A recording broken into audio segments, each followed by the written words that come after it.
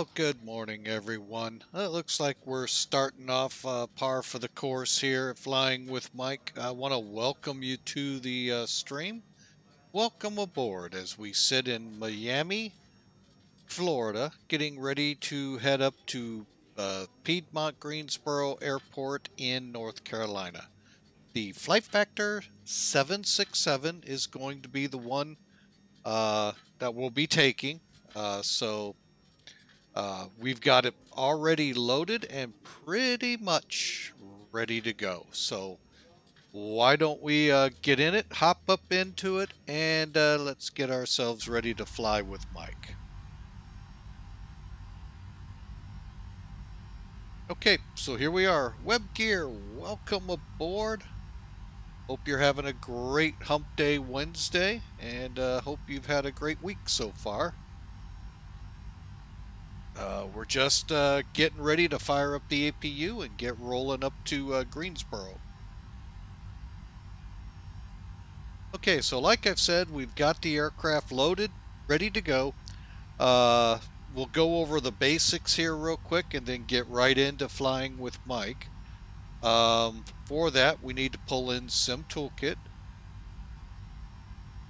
And uh, Sim Toolkit shows our route here basically. Now this is the, uh, um, I always forget what they call this, the uh, flight summary.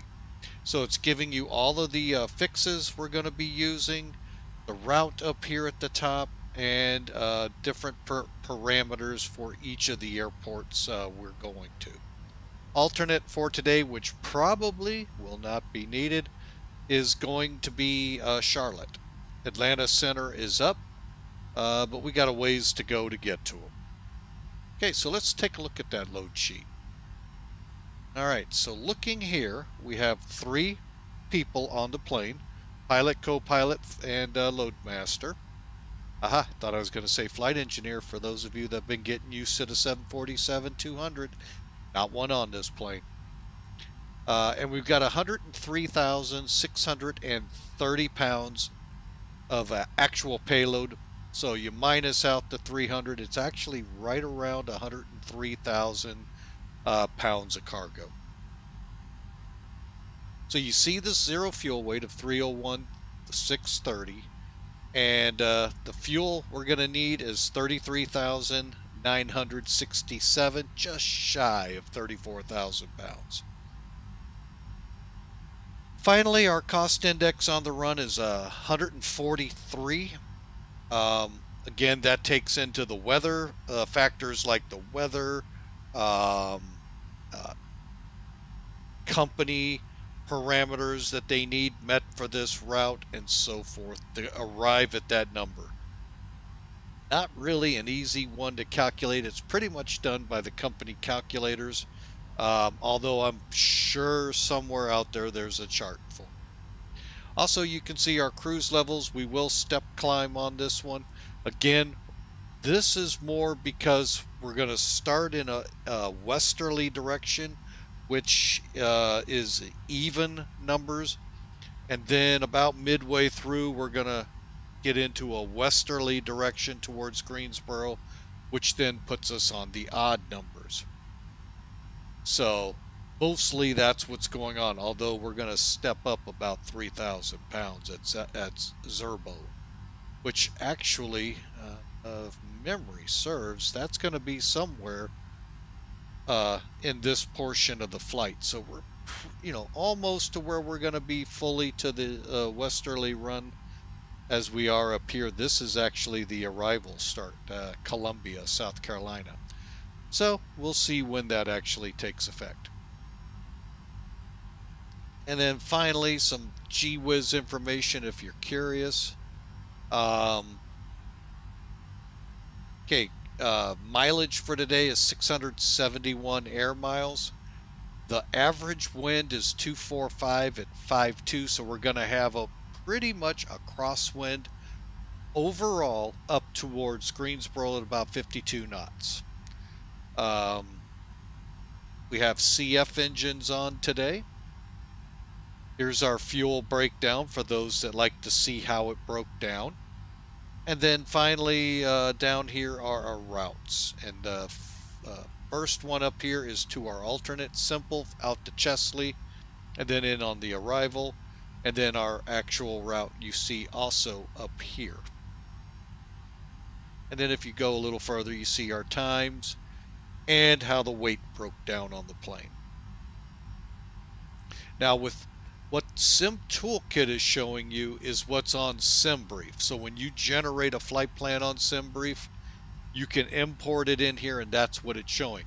So if you were to import, say, one of the other flight plan formats that there are there, like UL, UAL 18, only fresh on my mind because I watched the streamer yesterday, it'll look different. And I may try to understand it a little more. It's it's the information I'm looking for is difficult for me to find it. So that's why I stay with what's called LIDO, L I D O, Lima India Delta Oscar. I know what I'm looking for, where it's at, minus a couple figures, um, especially with the Airbus. So that are actually in the flight plan if you use UAL 18. There's other ones for those of you who might be real world airline pilots. You know them, you know what they are. Have at them. I just use the uh, default one. All right, and with that, uh, let's get flying here, shall we? Alright, so I've got the uh, Sim Toolkit up at the top so you can kind of get an idea where we're at. Of course, Sim Toolkit now has an update. Alright, well, it's going to wait. Um, so back to where we were. So we're loaded. Now, for that loadout that we saw, 103,000 pounds, let's come down here. There's one of two ways to get the uh, uh, electronic flight bag. This one under plugins which is what I'll do this time. And up, oh, it's not showing down there because it's right here. Or you can click on it right there. Alright, and then you just click ops, ground. Alright, so when we loaded, uh, to get that 103,000, or what I more say, let's get it to the zero fuel weight we're re required, 301,630 um, first off, I might I zero out the pallet number and the cargo weight. We'll explain these in a minute. They're for those new to Flight Factor. They're not what you think. Well, one of them is in a way. The other one is not what you think. However, so I'll minus my uh, 301 630 from the uh, zero fuel, which I think is 198 000 or 188. I can't ever remember. Okay, once I have that number, you divide it by 9,800 pounds. Now, why that number? Each pallet you load in here, so each number is 9,800 pounds of cargo. So, by dividing it out, we'll get the numbers to the left, which in this case was 10. Then I take um, the number is now in my zero fuel weight.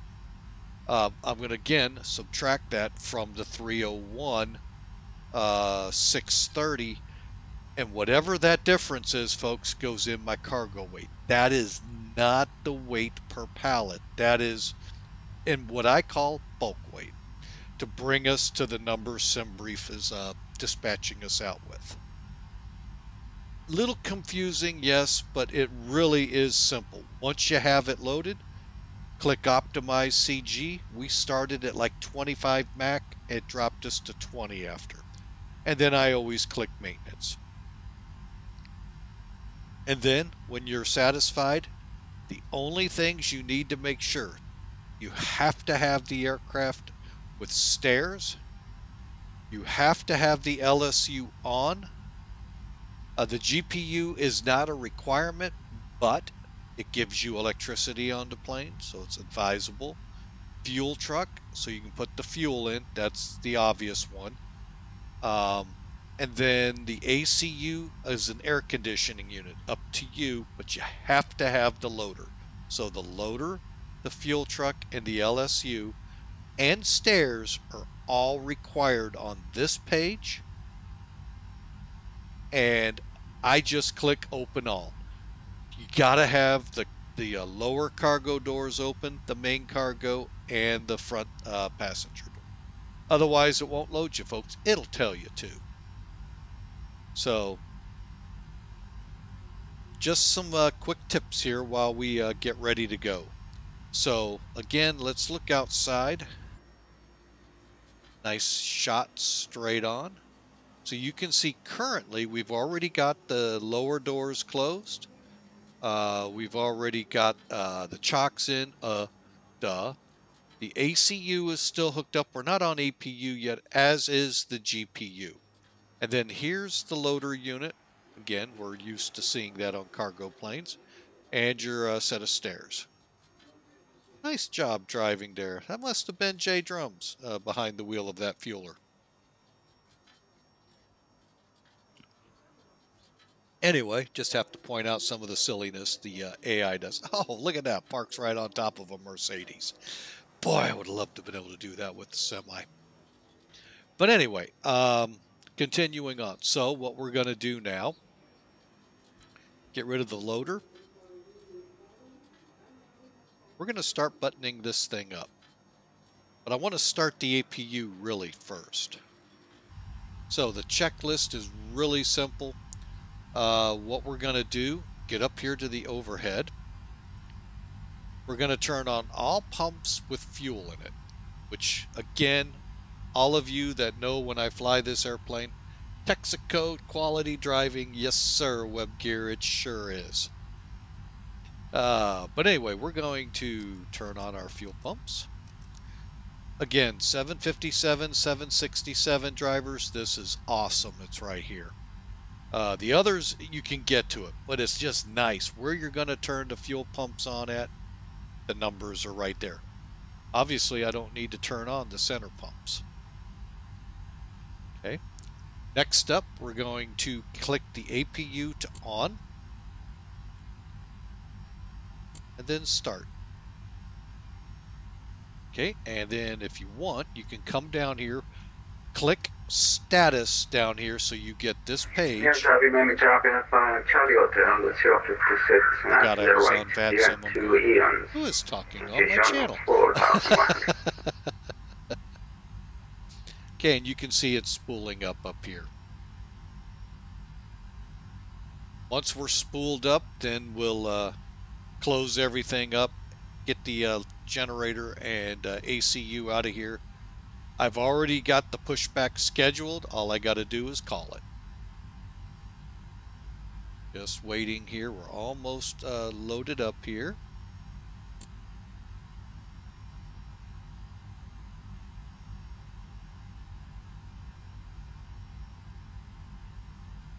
All right, and there we are stabilizing.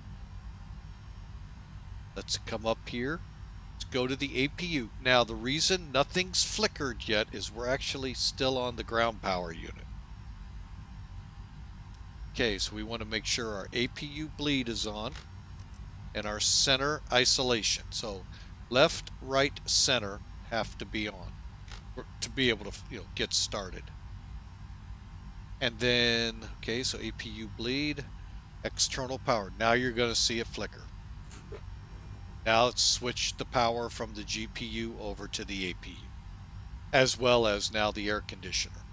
So up here, we click the ACE and that. And uh, we're just about ready to go.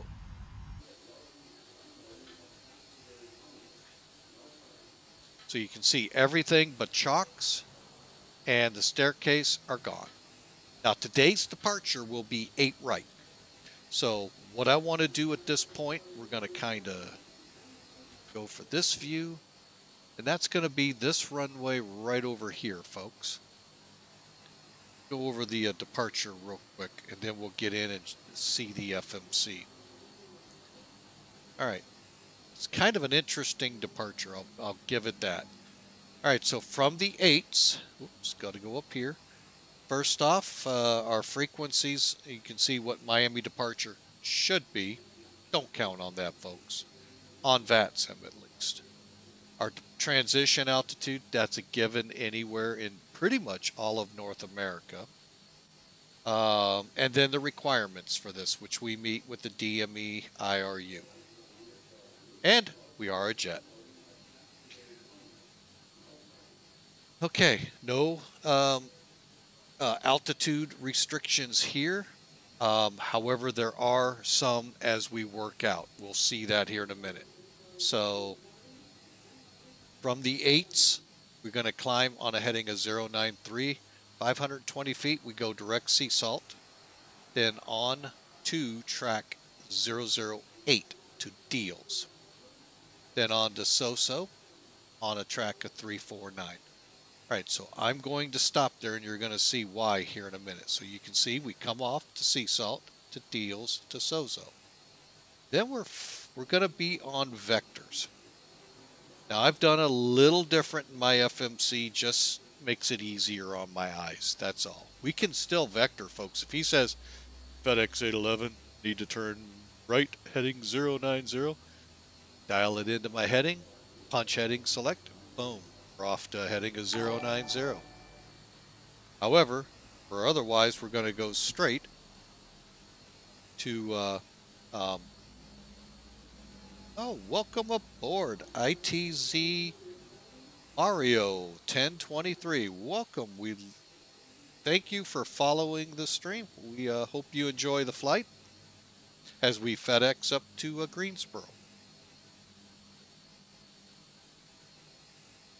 So, uh, anyway, back to our chart. A second.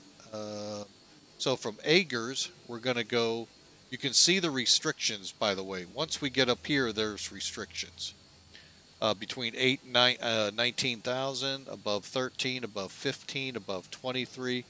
So basically, keep climbing. That's what it's saying. All right, and that pretty much wraps up our departure, folks. And where we're located, where the triangle is, will come out on Kilo, crossover at uh, uh, not sure what tax, Kilo 1, Lima 1, or departure. Pretty simple taxi. We'll get into the V here in a minute. And I did not have charts up. Why did you fail me there, computer? There we go. So there we are at the FedEx ramp, farthest, I think we're the farthest spot over. Uh, we'll push back, take K, Kilo, Kilo 1, Lima 1, 8 right, away we go and then out we go here. It's almost direct sea salt. Deals, Soso, Agers, Hertz, Arps. From here, we just continue on. M Mart, N. Enwood, Sealsy, one way. And we'll make sure we're above those levels as we go along.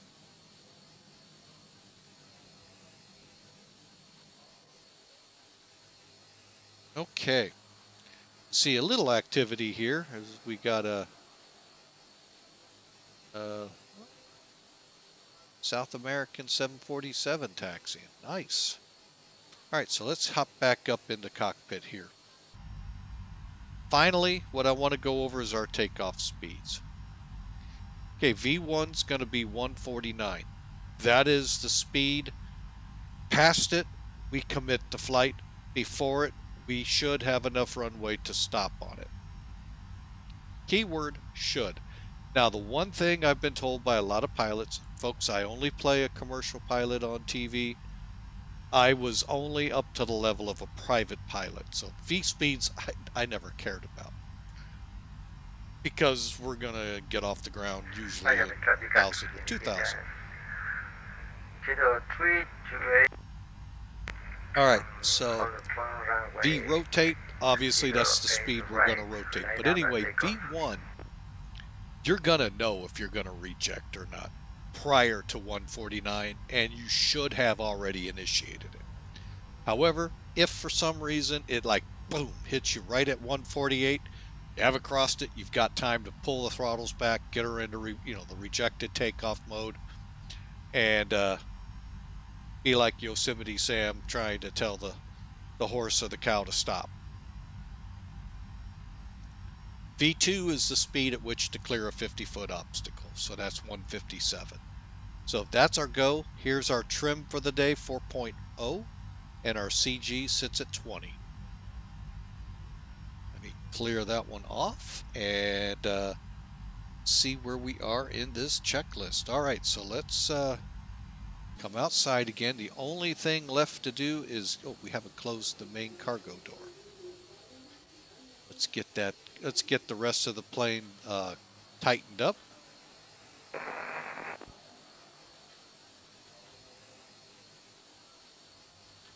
And they're closing right now.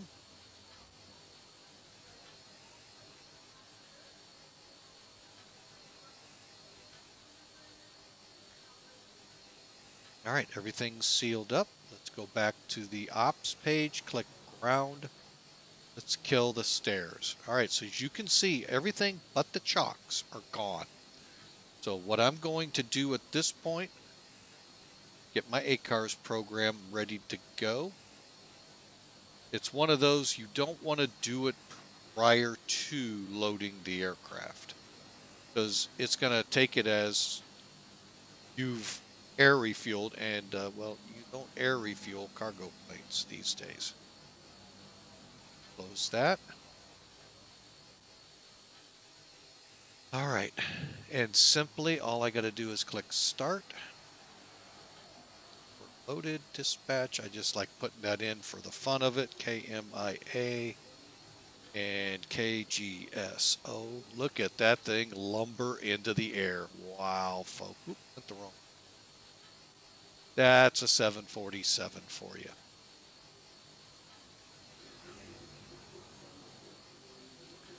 All right, let me uh, throw a flight plan on here. Miami 328 airborne. 320. Downlink. It's just one level more that he uh, uh, puts into it. Right, and we'll go back here, minimize it, we're ready to go.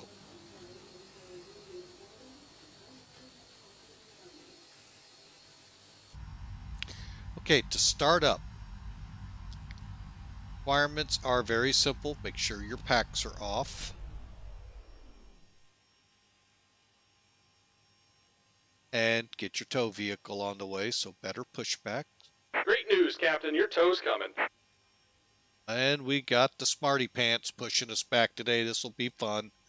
Uh, tow vehicle's on the way. ACARS is started, and uh, parking brake will get turned off when he shows up, which he's right there. We'll get it in a second. Beacon's on.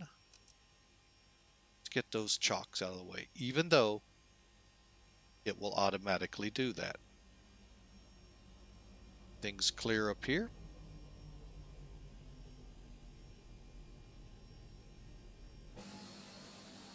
Oh, the mighty Texaco man's back. How many fences did he take down this time?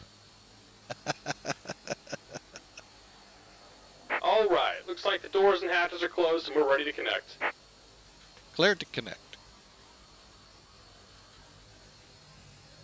And again, it's Mario 1023. Welcome aboard. Let's see who else we have. Did I miss any chat here? All right. Uh, any tow? Welcome. Taxi Please 06. Welcome aboard. Hope you all enjoy the uh, run up to uh, Greensboro.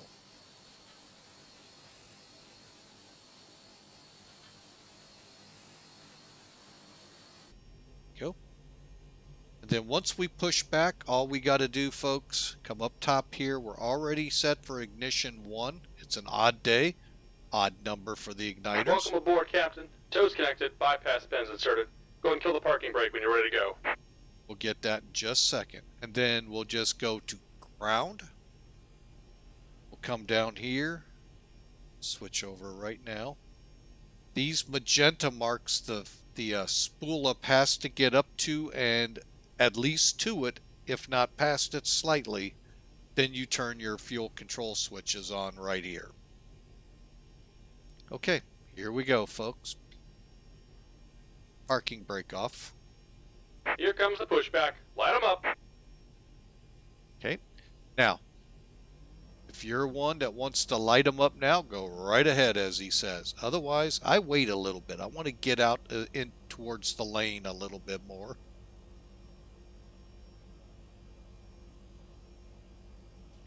Just to be safe, I don't ingest any of those cans. Or Texaco trucks, as they are driving kind of uh, erratically here on the field.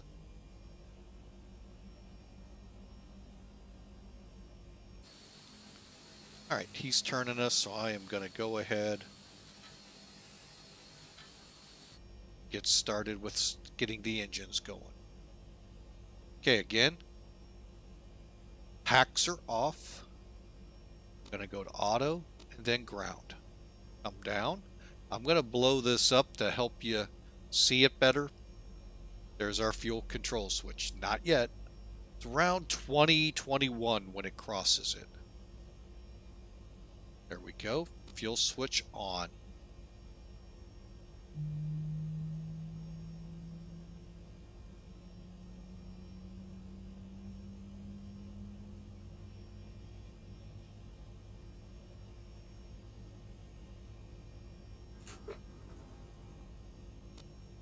Okay.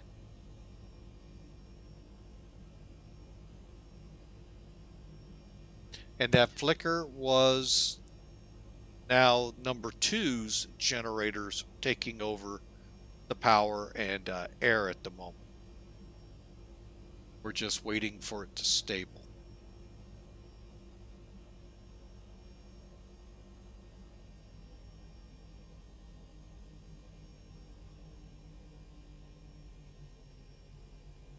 And he's going to push us back a little bit here. Get us all nice and straight for the taxiway. And to make sure the wheels Just about done here. Go ahead and set your parking brake. that the tires aren't, uh, you know, you push it back a little bit to make sure the tires haven't rolled under. And we're disconnecting the tow. Give me just a moment. Okay, parking brake set. He's disconnecting. We'll go for number one.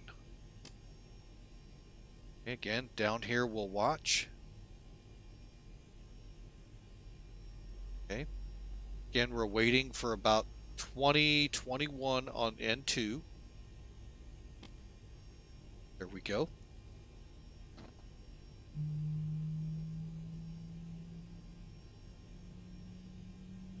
Oh, okay. For a second there, I thought my speakers were getting this. Okay, we're just waiting for it to stabilize. We'll let him disconnect. We got good engine starts. Generators are now on.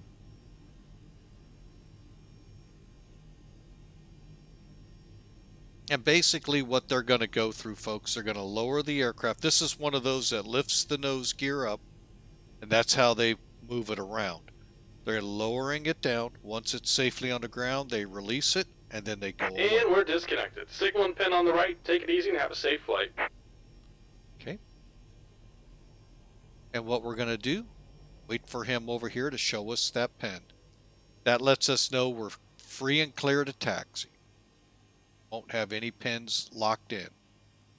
Here he comes. And right out this window here. And the pin is hanging from here. From our vantage point, it's hard to see, but it's there. All we have to do, or what I usually see, is give them a quick flash of the uh, headlights or taxi lights, headlights, whatever you want to call them. And uh, we're ready to continue on with the after start. Okay, so tow vehicle's been sent away. We're going to come up here. We'll just do it all right here.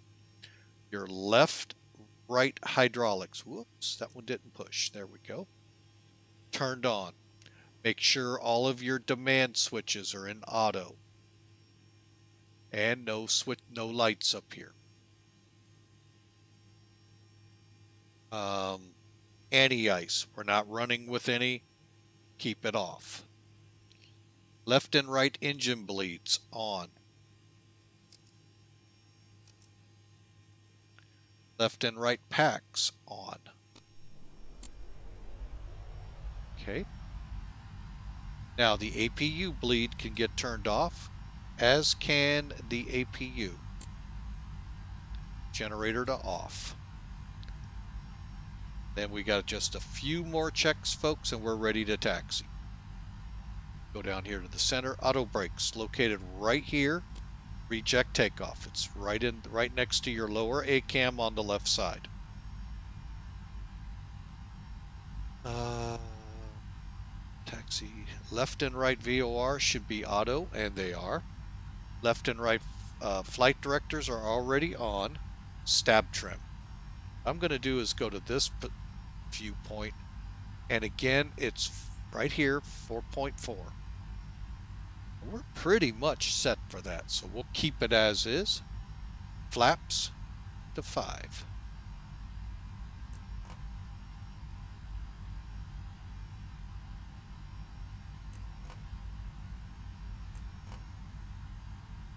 Okay, it's not being nice. Hang on. There we go. And then we can make sure it shows up here. EFIS control. Let's make sure we get flaps 5. We don't have any lights like the 737 to say they're set. Needle's not moving. We should be good. And looking at everything, looks like they're set. EFIS panels. That's these here, folks. Either side of the throttles.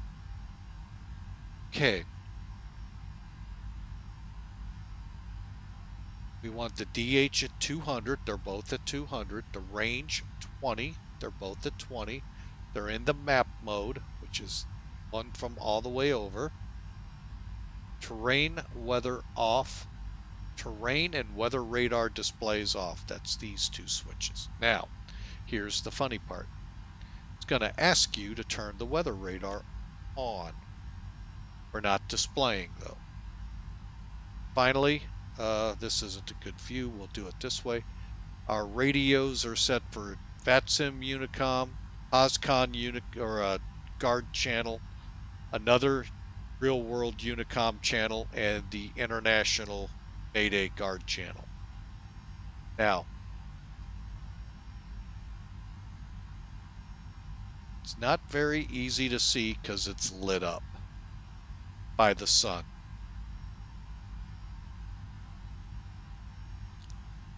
Can't get in its way to change it. Anyway, you want to pull this up and turn it a couple. That's how you'll hear ATS, and they'll hear you as well. And then we're going to go ahead and get over to TA on our transponder come back up here and let's get taxiing.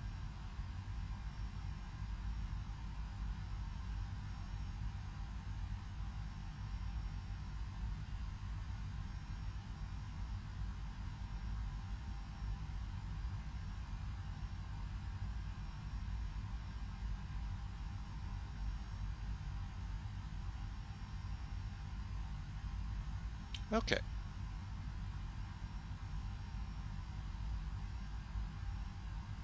Oh, and the one thing I didn't do is the flight check.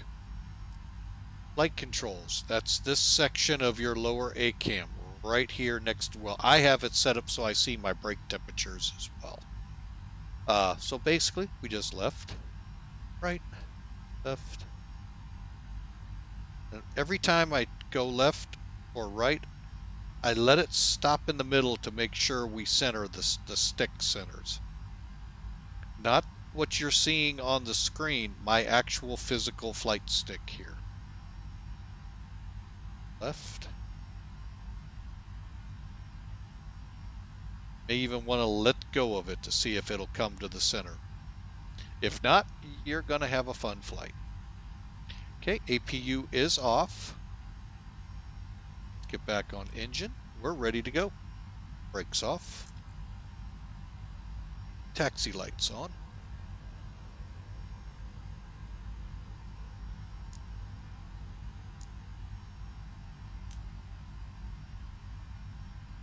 And let's give her a little oomph.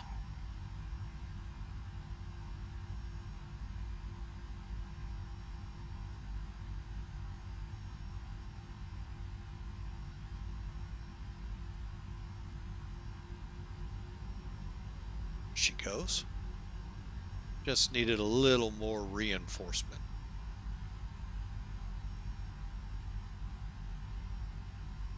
Okay, and again, we're going to taxi all the way down to the end of this runway right to our left, cross over it, and be using the next one. Hetman 777.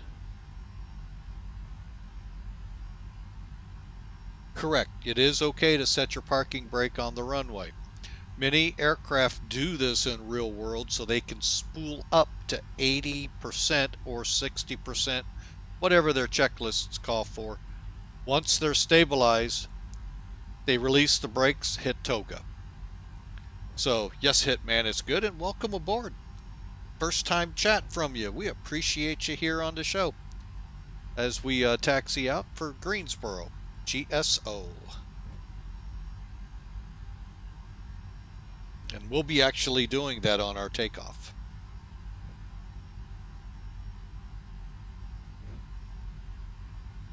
Alright, now just give you a little flavor here. This is all FedEx. Down here is some of the feeders.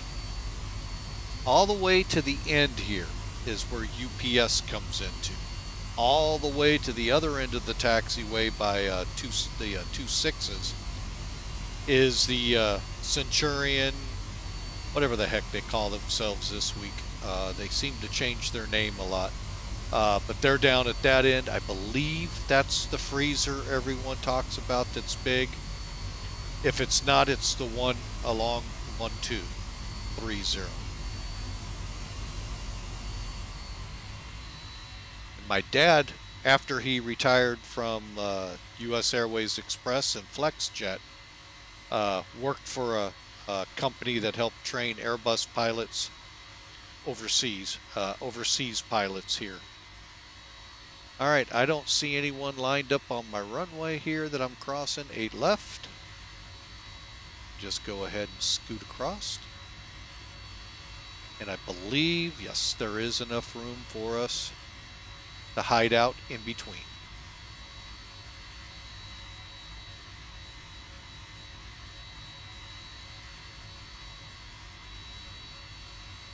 Okay, and that facility I was talking about was right here. Either of those two are huge, um, and uh, where a lot of the flowers and produce and all come in from around the world that come to Miami go through there, and then into the country by truck.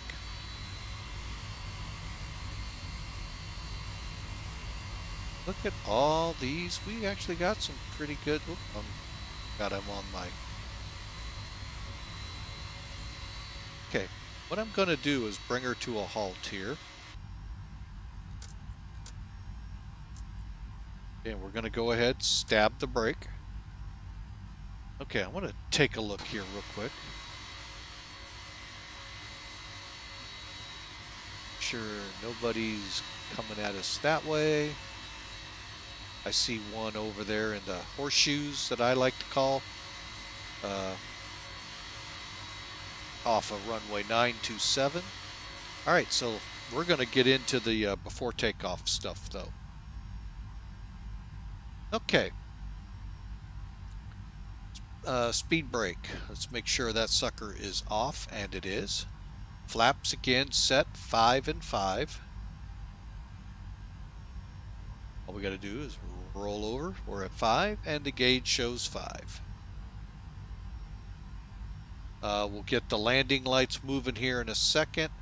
MP or MCP will get the auto throttle set, LNAV, VNAV set, all we're doing is arming them, kind of like when you're coming in for an ILS approach.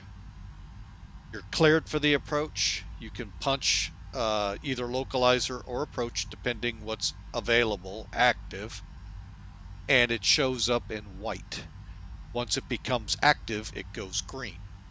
So Same same concept here. Once we're airborne, they're not active till the autopilot goes on.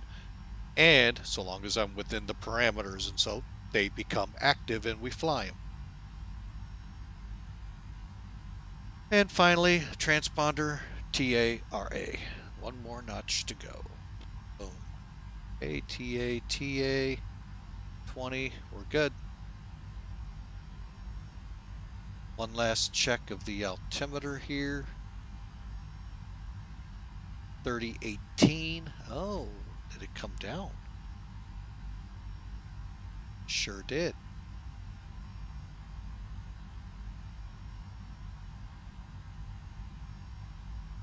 Okay, I'm clicking this set screw, folks, so it'll set the one on the first officer side.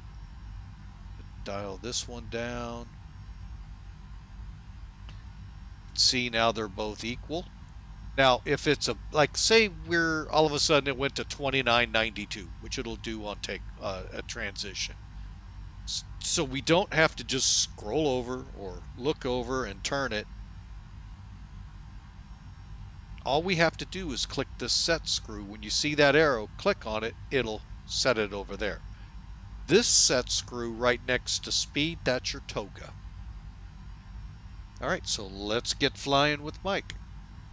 Miami traffic uh, FedEx 811 Heavy, departing runway 8 right. Giving people a chance, and I need to get a plug-in. TCAS given to xPilot, there we go. And we're clear. Here we go, folks. Laps 5. Now, what we're going to do is roll.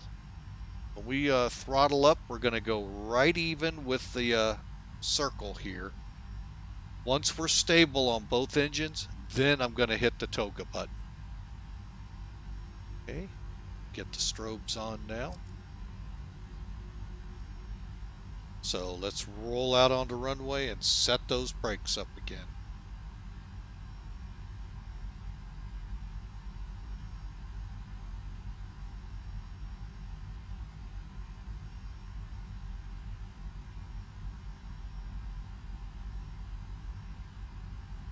And right now, folks, just as kind of a give you what's going to happen, once we get up uh, in close to South Carolina, Atlanta Center will be online. We'll get that programmed in here in a minute. Oh, another South American. TACA 780, 7088 is here as well. Let's get on here. We're not going to be eating up the whole runway like is, is sometimes possible. We're going to have about 2,000 feet. I'm going to guarantee you this plane will have more than 2,000 feet. Of course, it'll make me a liar this time out. See how we're doing on the lineup. Oh, let's get over here.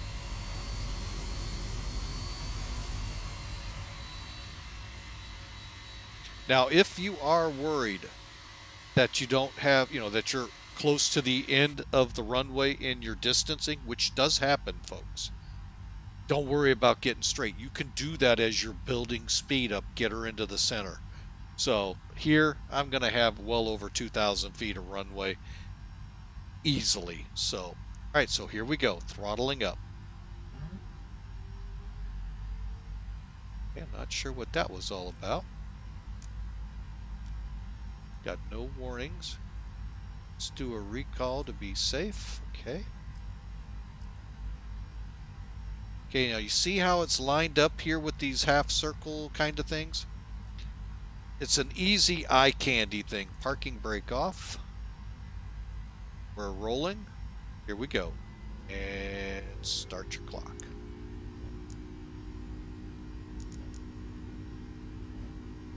Toga set. I always push my flight uh, throttles pretty much to the forward just in case because we're about to cross 80 and it'll do that if you don't. It'll do that if you do. Then it'll resume. Thankfully, it's not like LDS, which will set the uh, brakes up. Okay, down the runway we go.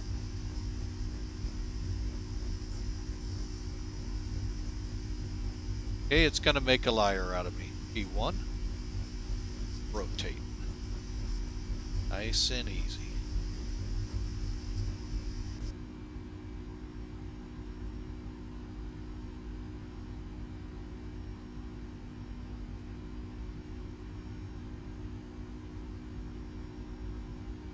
Gear up. Positive right.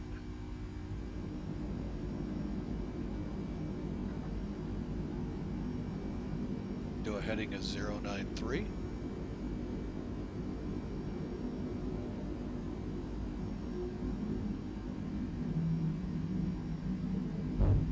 I'm going to go ahead and let center autopilot have fun. That way, we get to do this.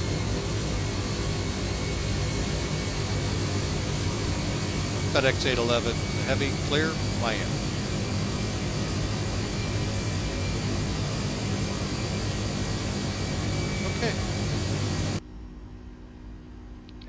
Away we go, folks.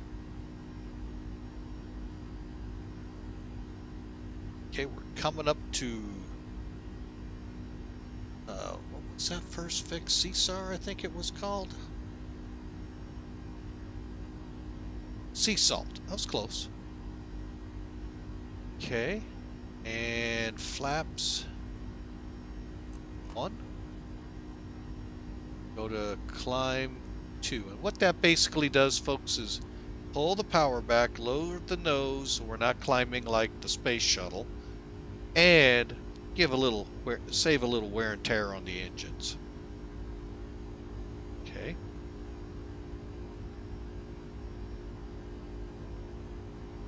We'll hold flap one here for a little bit while we make the turn in the inlet here. Intercoastal waterway, basically. You might Miamians know it as where all the cruise ships go and cargo ships.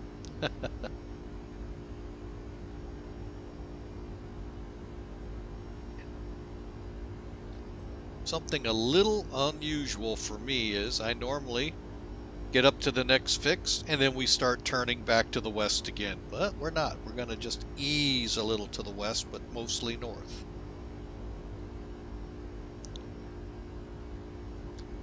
Okay. And again, so-so, I have taken out the vectors. We are, we'll just continue on to acres. And we'll go flaps up.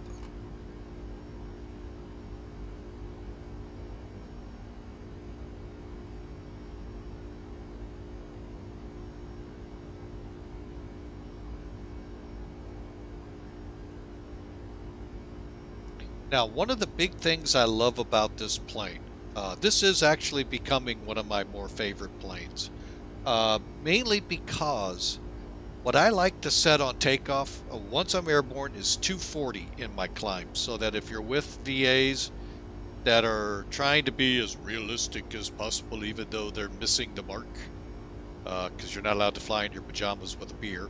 Um, anyway, um,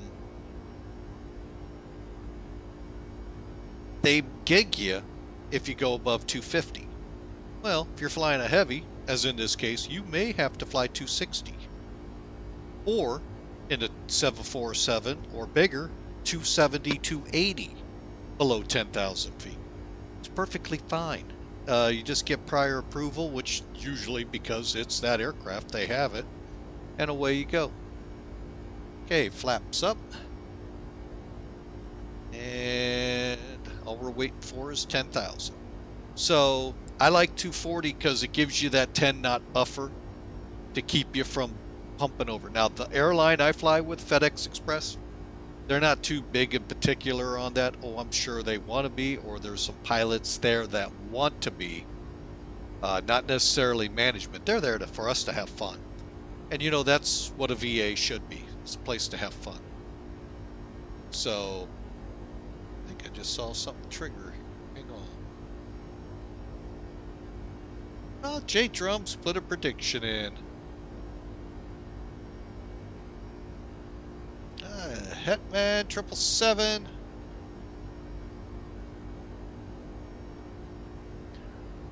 Uh, Hetman, uh, the parking brakes, again, harkens to what I just said about VAs.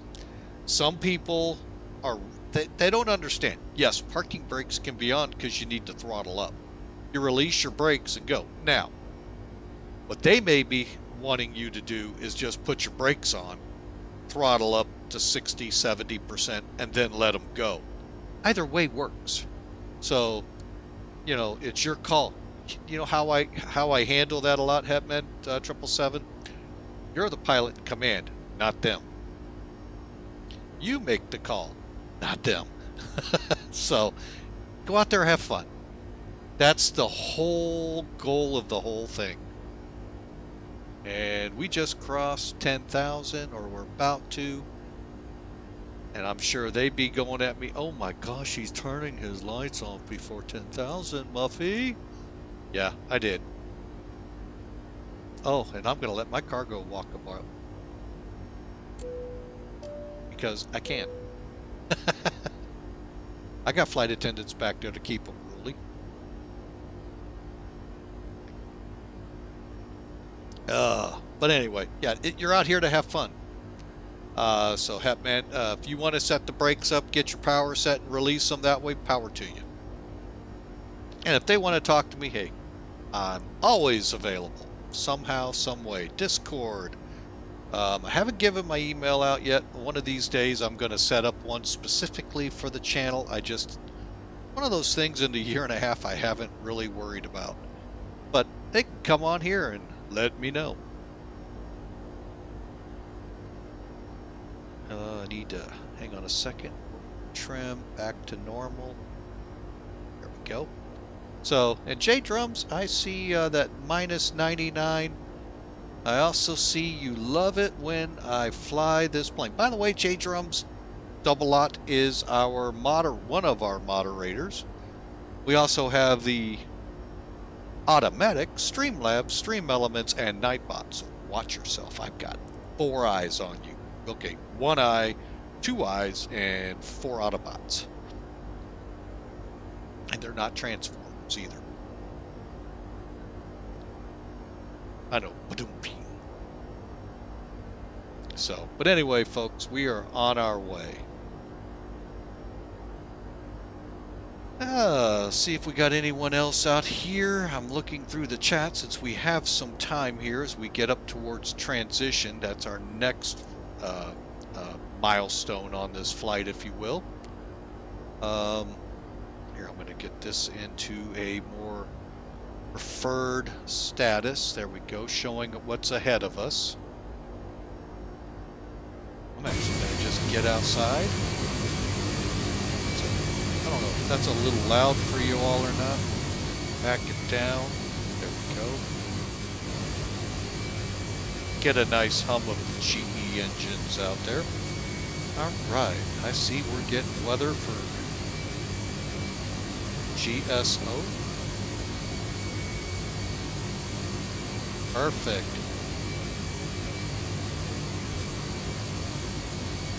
All right, so we folks have an hour and a half to go in this uh, climb out. So what I'm going to do here, bear with me a second. I'm going to get a little bit of music running in the background. It's going to be very low, could be hard to hear.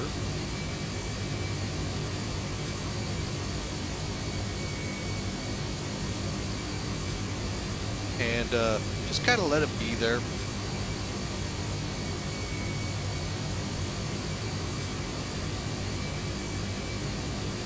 Let's give it. Well, that's perfect. So we'll just let that run. If it's too loud, hey, I got a little further I can pull that lever back on it. But uh, we're on our way, folks. See where we are in transition level, 4,000 to go. Okay.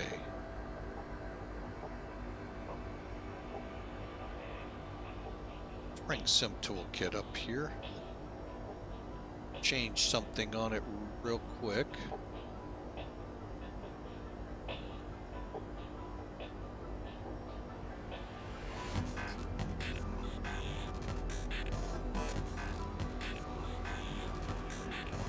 This way you'll be able to...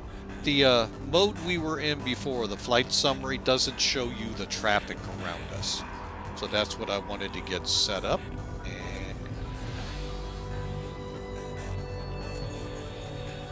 there we go. So now you can kind of see where we are, what we're doing. Got a couple thousand to go here to transition.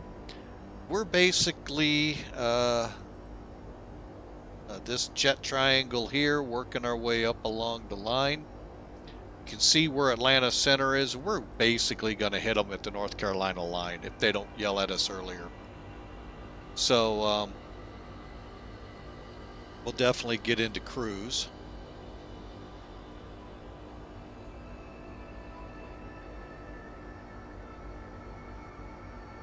But you can kind of see the green on the map is VATSIM.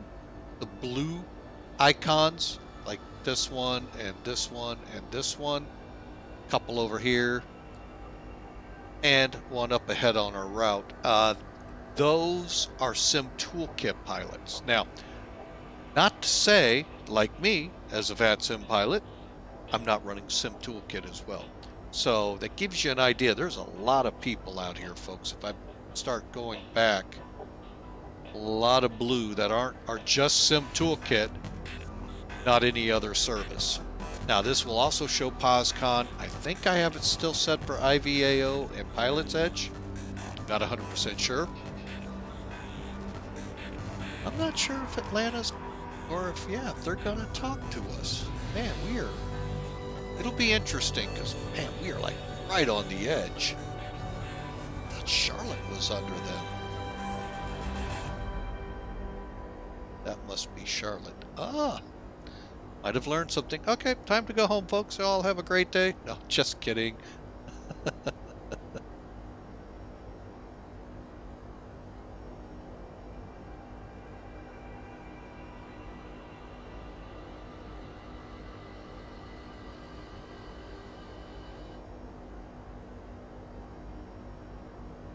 Alright, just kidding, folks. We're on our way.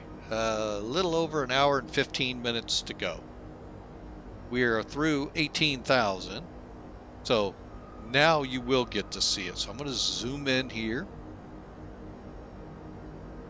And set our altimeter to 2992. It's old school, folks. Don't get that nice little button that says STD to push. Gotta set it. Okay, now you just saw over here, alt disagree. That's a feature that has uh, actually a result of, well, let me put it this way. Any feature on a plane is usually the result of something bad that's happened in the past. Um, where this one is set up on the pilot, on the captain, and the first officers doesn't agree. So as you can see, I'm now set at 2992. First officer is still there in the right circumstances when the mishap occurred, had they agreed, the mishap, one of the things that came out of it, it told them that they weren't on the same page. So, now, if they had this feature, you would never have to worry about it. The set screw is right there, folks. It's above this black dot. Now, be honest with you, I'm not sure what that is in real life, if that's the light over the gauge or what. Uh, anyway, we click it, altitude disagree goes away, and voila, 2992. Magic. However, you do have to manually set the uh, backup. Yeah, they had a problem with their altimeters not reading right, and that's what it, one of the boil downs that came out of it. Uh, folks, if car accidents were investigated like airplane accidents, I'm here to tell you, folks, that one, there wouldn't be many bad drivers on the road, and two, there wouldn't be many bad cars on the road either. And I had the map up. Ah.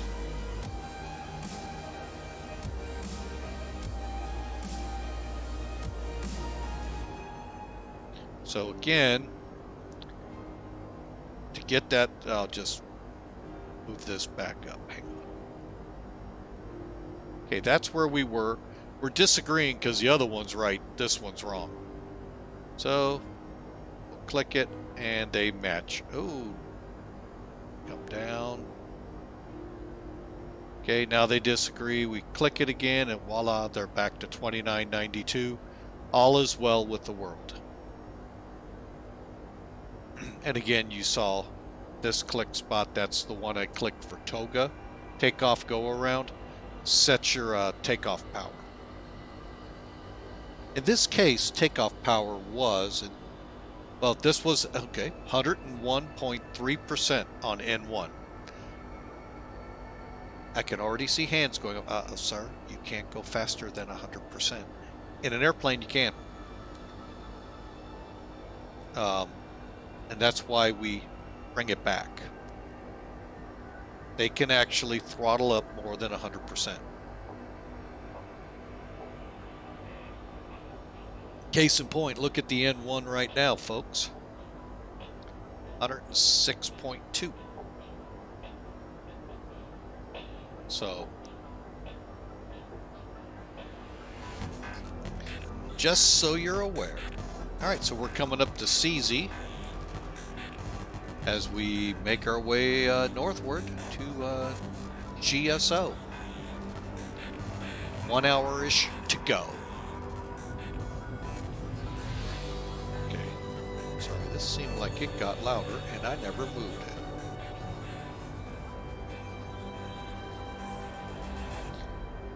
Okay, it could just be me. Alright, so let's get a better panoramic view here of the main cockpit here. What I'm going to start doing is setting up for cruise. So I'm going to push range out on the pilot side to 40, uh, to 80, my bad, it'll show 40 in the middle. We'll go up to selector 40, which will show 20 over here. And hang on, I got to get a look at them. Okay, so I want this one on terrain, this one on weather. Now, the nice thing in the most 767s, this spot right here is where the weather radar is. But again, it can be superimposed on your nav displays. But there are some pilots that don't want that. But I would love it, but I don't have active sky. All right, train radar's up. All right, so we are cruising along here, folks.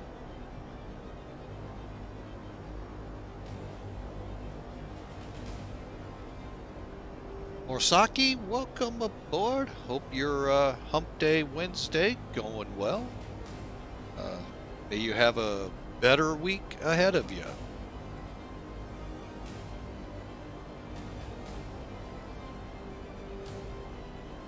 And folks, if you want, uh, sometimes I know life can creep up on us and we don't have enough time to stick around. If you want to throw a prediction in, now granted, we don't have prizes. Uh, it's simply the uh, exclamation mark predict, the minus sign, and the number, uh, whatever number you want, and that's how you make the prediction. All right, so we're coming up on our cruise. Lights out. Oh, that's what that is. Okay. Alright, I've learned two things. Now I'm overdoing it. I'm gonna have to figure out why she blew through. See if she'll compensate for it first. That's significant.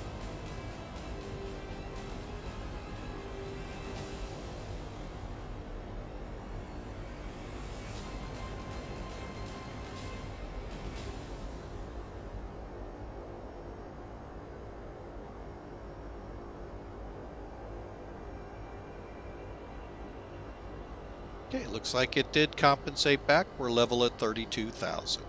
All right, and Zerbo is 35 miles ahead of us. We'll uh, make sure, up, take that back, 80 miles ahead of us. Once we cross that, folks, we'll go up to 35,000. Per the flight plan, unless ATC says otherwise. But folks, we are now level and cruise. Uh, looking still for about an hour arrival time into Greensboro. So sit back, relax, enjoy the ride, folks.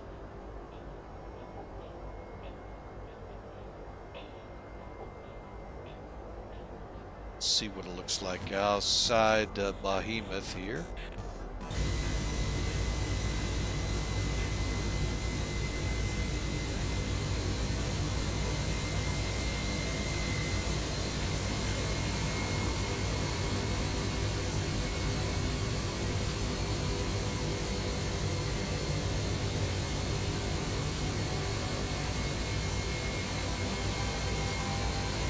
as we're just kind of up the Floridian coast. We're going to be passing Savannah as we uh, head on northward.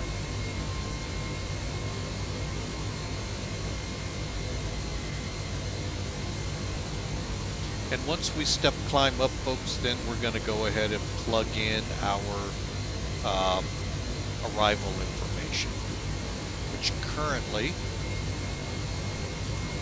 easy way so you can see it. I know it's been cycling through pretty good.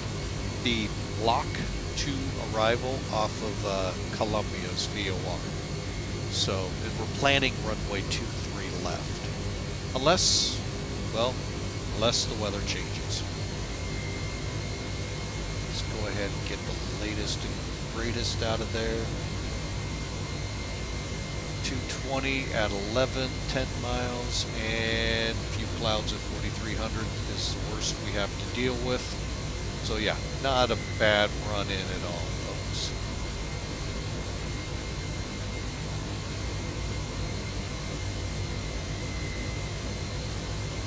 Okay, so 220, as long as we hold that, we're good. All right, let me take a look at something here. Uh, we are currently getting up towards the uh, Space Coast here. Uh, we got a little ways to go. It's kind of where the Miami Center goes to Jacksonville Center. So that's where the Space Coast is. I believe that's Melbourne right there, the airport that the nose is kind of going past. Um, and then uh, push on up a little further and we'll see maybe Kennedy. I'll be honest, I never looked at it from this vantage point. Let's kind of swing out here. But folks, that band of water right here is called the Intercoastal Waterway. You can run that from Maine all the way around Florida and up into uh, the Gulf uh, towards Mobile and that, and you're never out technically, quote unquote, in the ocean. Now there's some parts where it gets really hard to figure out is it really there or not. But yeah, it's supposedly there for that. I don't know, but uh, I know when I lived in Charleston, South Carolina, there was a uh, part of the intercoastal uh, all over the place. But anyway, part of it there, Isle of Palms. Forget the one to the south. Uh, but yeah, this I think is Patrick Air Force Base right there. Cocoa Beach. Yeah, I dream of Jeannie fans.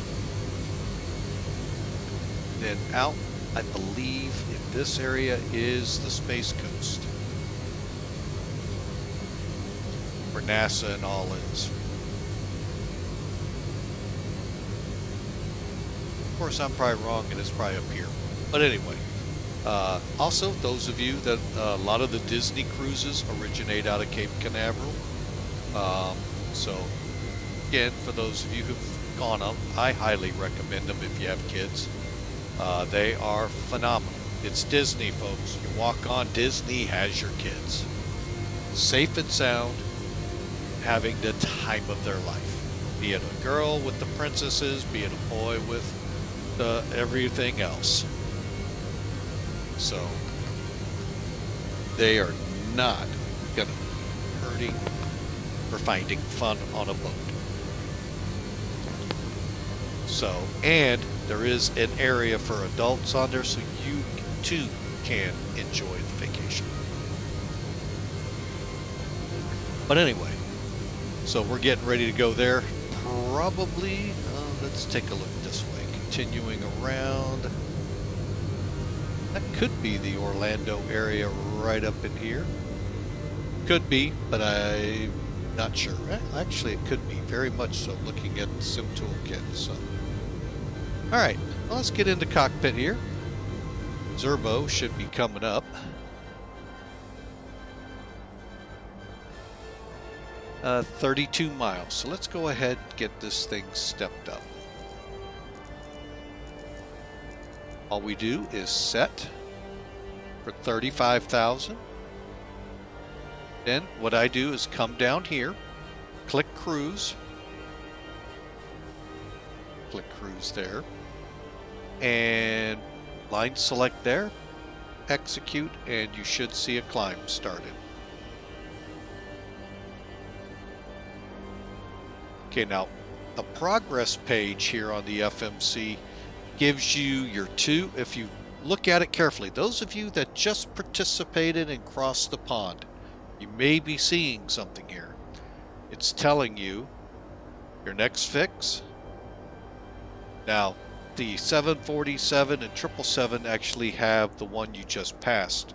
So your position report would be position passed, next, such and such time, next, such and such time, and how much fuel. Pretty nifty, huh?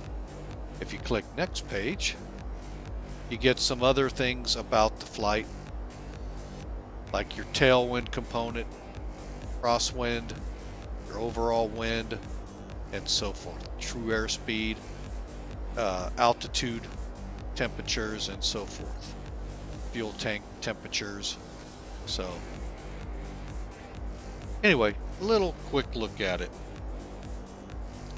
And once we level off, we're going to get in and start working up the arrival. As it is, we are 56 minutes out.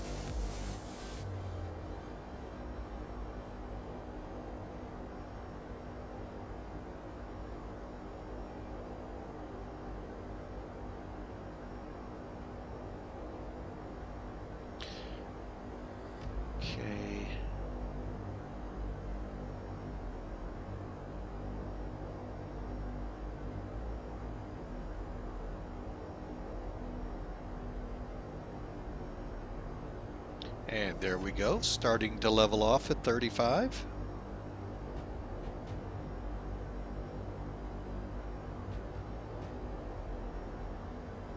All right, so let's get into this now and start talking about our arrival. Because it'll sneak up on us, folks, if we're not careful. All right, let's get charts. We'll start there.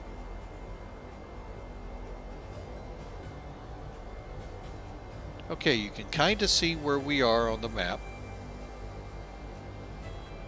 Orlando's right in here, the Space Coast right in here, folks. For those of you who are aware of that. Anyway, we're going to track up again. We just pretty much keep that Atlantic Ocean off to our right for the most part. Till we get up here by Charleston, uh, Savannah, Charleston area. Then we start headed direct uh, for Columbia, South Carolina, and then are just into. Oh, excuse me. Did not mean to yawn in y'all's ears.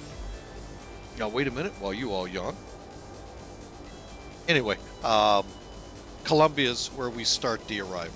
So, what I am going to do here is I'm going to also bring up the FMC. Okay, so we got both here.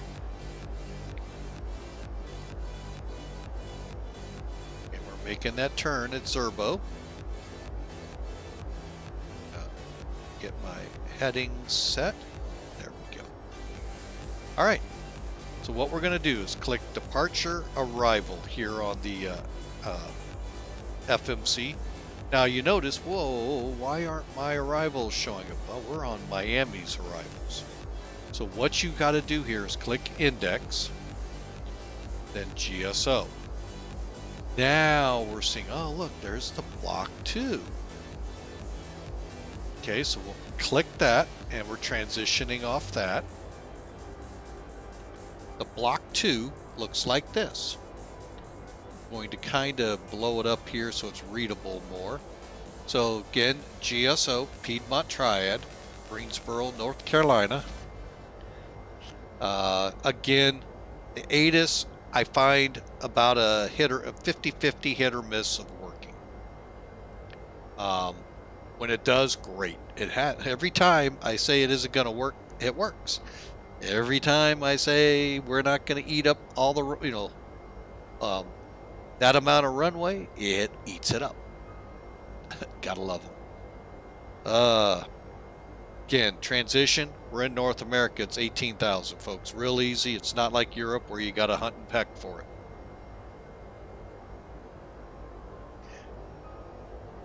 All right, moving down.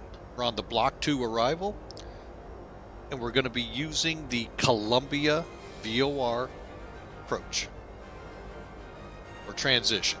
Okay, so that's here 114.7. We'll track to Sandhills, the block to the Greensboro VOR. We could.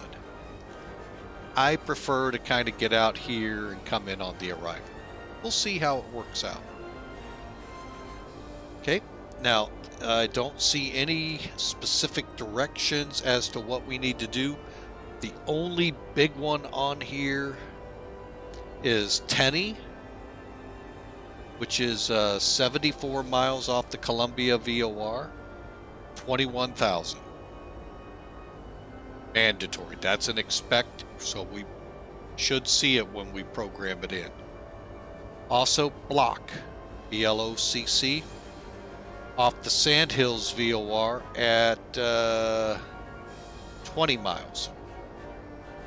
That's 11,000 and 250. So they want us slowed before 10,000. And we have to follow the chart, folks. Then we're direct Greensboro until vectored for the arrival. All right, let me quickly All right, so let me uh, go ahead and pull a METAR here so you all can see what we're working with. Okay, so as of 1754, which will have been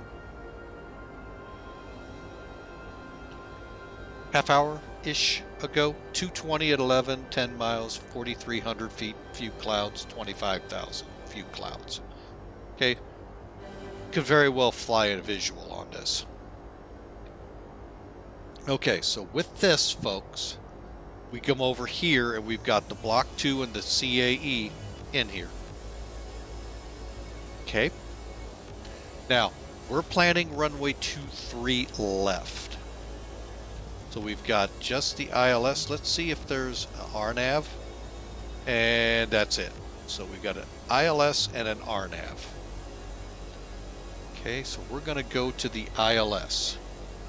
Now, it is set up that you do go to Greensboro, 116 decimal 2, then on a 45 degree heading, head to Brant, outbound, till, uh, don't know how far out we're supposed to go. Let's see if it says here.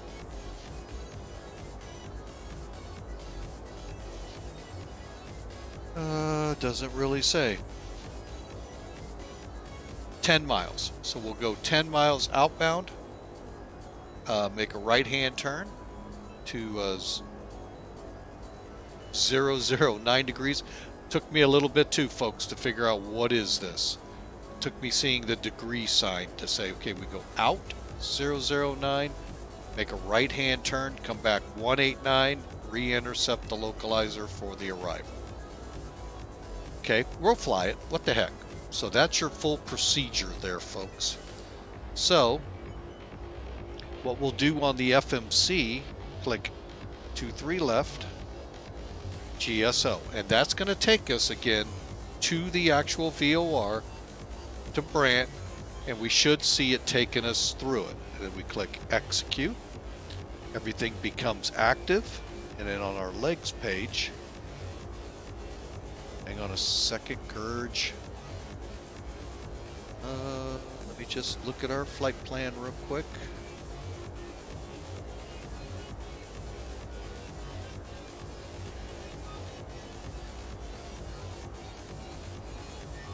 So it's Gurge. It's the end of the uh, Q69 Columbia. So we'll just take that, close that off. Remember, we had an altitude restriction in there, so let's go back. Okay, so we've got everything programmed. We'll come back to this chart in a minute. I'm already seeing a problem. Hang on a second. Let's do this. Bear with me. Click and click and done. Okay. Just to make it easier on the eyes, let's go back to the block 2. Alright, Tenny was a 21,000 foot restriction. 21000. It's going to put it in as flight level 210. Execute. Okay. Now, coming up, Sandhills, vacuum, vacuum, and block. Okay, block will be on the next page. It's 11,000.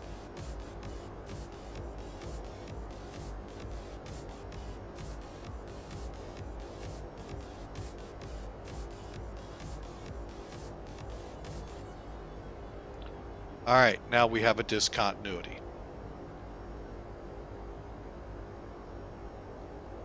See if it'll take. Perfect. So, now that we've got our altitude restrictions taken care of, let's go to the ILS real quick.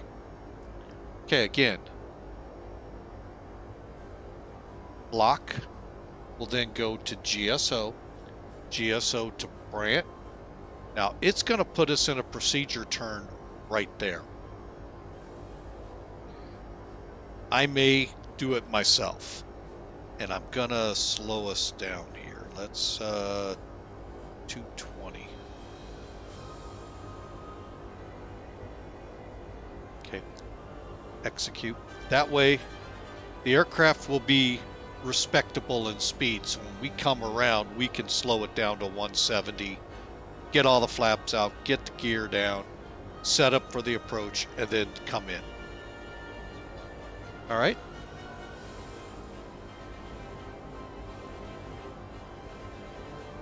So we've got uh, the box worked out. Go back to here. We are 421 miles out. At about two to 300 miles, we'll actually get a TOD here. We'll verify it up because we got to make 21,000 and 11,000. Now let's talk about this arrival. Okay, so we're on a Jeppesen chart. It's page 11-3, effective 20 March 20. Okay, ILS for runway 23 left. You'll see why here in a second while I chose this one. This runway, not this approach. Okay, here's the frequencies. Again, don't get mindset and have your radios ready to go to those channels. More than likely, they're not going to be them. Okay, just to warn you ahead of time. Localizer, see the identifier, here's the frequency. That we will have to tune in, and I'm going to go ahead, at least, whoops, a little further. Oh, okay, so we got that available. We could actually put it in now. I think I will. That way, we don't forget. And it's a 234. Okay, this way we don't forget, folks. This is not my VOR1, VOR2, NAV1, NAV2, however you want to say it. It is the ILS radio. Those radios, here's NAV1, VOR1, VOR2, NAV2 are right up top here. All right, so a little different again, folks.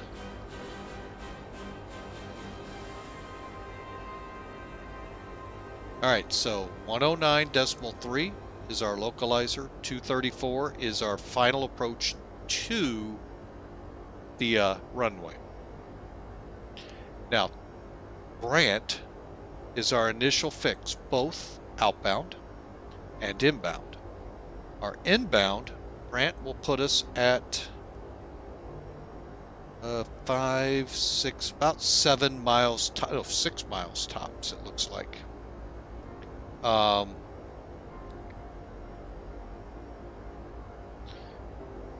now, Brant, we got to be on the inbound leg, not going out to hit the procedure turn to come back around. Uh, 27, 29. And that's where we got to be at altitude wise, and we should be on the glide slope. Decision altitude is 1089. That is where we go or no go for the landing. Not where we're stable, go or no go. Meaning, if visibility is lower than this, ooh, we ain't coming in. It's also 200 feet AGL. Airport elevation is 926. Now, this airfield does have a, uh, hang on a second. I'm opening it up right now. A Cat 2 arrival. So those numbers would come down. I just took the Cat 1 to keep it simple. So if we knew we were going into less, you know, lower visibilities, we'd do the Cat 2. And it's going to probably look identical, folks. Just tolerances are different. And what the aircraft has to have, the pilot and the airport. Missed approach procedure, y'all can read that if you haven't already. And then here again are our transition levels and altitudes and uh, things to expect, like VGSI and ILS glide not co coincident. Uh, simultaneous approaches are authorized, so it's we're not to be surprised if we look out the right wing and all of a sudden, hey, what's that airplane doing over there for? That's what that's all about. Okay, again, you can see vertically GSO to Bryant. We're going to go 045, 10 miles. Bryant, do our procedure turn, come back, and shoot the, and then come in and land. Vertically, this is how it looks, descending to 3,100 feet, descending to 2729. And then we'll follow down this path for a three degree glide slope. And at uh, 1089, we make the call go or no go. Then we get in a little closer and we're stable landing. These are the speeds for which we'll need to, you know, how we can judge our f- flight uh, um, descent rate, um, feet per minute. Sorry, had a mind fart. Kind of smelly too. But anyway, um,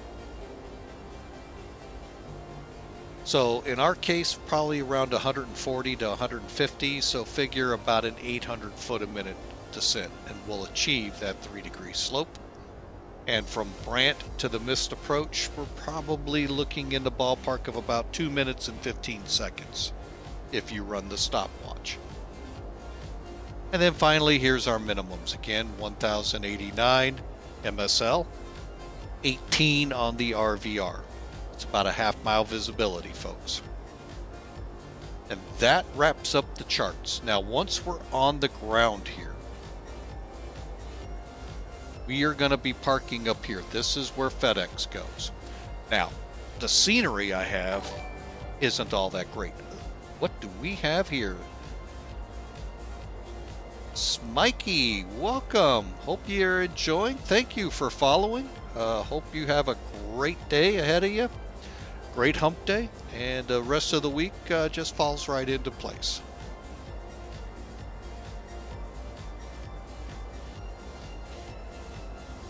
Okay, so again, we'll land. Uh, looking at this, I'm going to assume we're going to probably get pretty close to uh, Kilo 1 or Delta before we can get off taxi all the way back up into the FedEx ramp.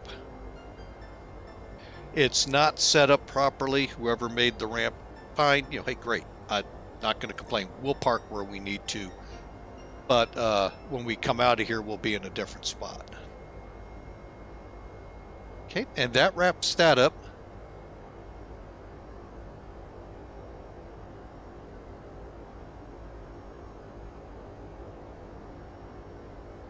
Hang on a second.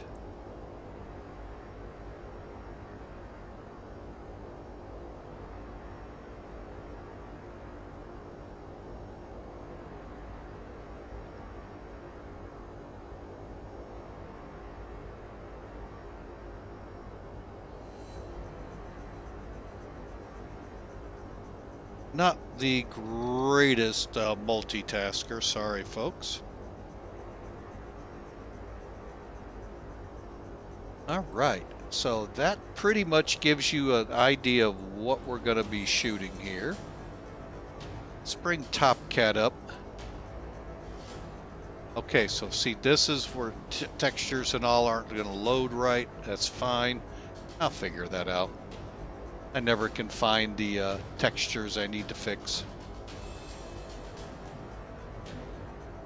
Okay, TopCat is a takeoff landing performance calculation tool. This is what I use to generate V-speeds and landing speeds. so we're into landing mode now here. We'll do a quick update. Make sure nothing changed. Winds are still the same. Everything's the same. Okay, we're going to have anti-ice off, auto land. I turned that on just to get better better numbers and an auto 3 on our brakes. Make sure we're on 2-3 left. Gives you the specs here as well and any uh, procedures we need to know about.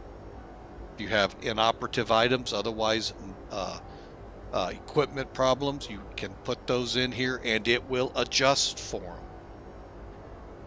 And it is payware. Alright, so it is calling us the landing speed of 144 coming in at 150 like I thought. Alright, so I do want to write it down.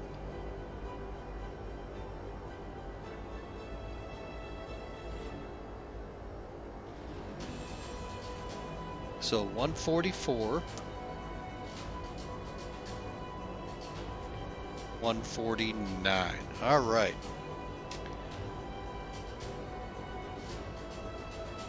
And then we can come right over here, click int ref.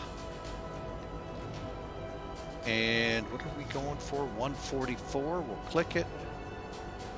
Put it in there. That's close enough. ILS matches. And uh, here we come. Let's see, where are we? Izu and Gorge. So we're getting within uh, 60 miles of uh, of uh, Columbia, or the end of our route. Then we're direct to Columbia. My bad. Also, 167 miles now from top of descent. So now would be a time, folks, if you need to grab a soda, grab a restroom break, because from here on, uh, frame rate wise, yes, I've been getting, I don't have that set up to show, but um, usually I, I don't have any stuttering issues at all. Now, mind you, I uh, have a, a rig that I had set up last year for streaming and for running X-Plane and um, FSX or Prepar3D. So it pretty much doesn't get hampered yet. And I also haven't really loaded it down yet either. Other than this problem with textures, which I'm going to have to figure out now that I have SAM, I probably have to get different textures in there to keep that error message from coming up. But we're still good for landing. But yeah, great plane. I have the, uh, hang on a second.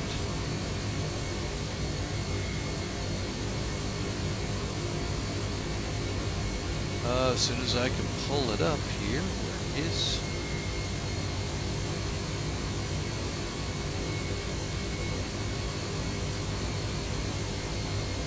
There it is. Uh, the version I have is the extended version, so I got the freighter with it as well. And then I also uh, purchased the uh, liveries for both North American passenger and the cargo liveries. So I spent all in all somewhere a little over a hundred bucks.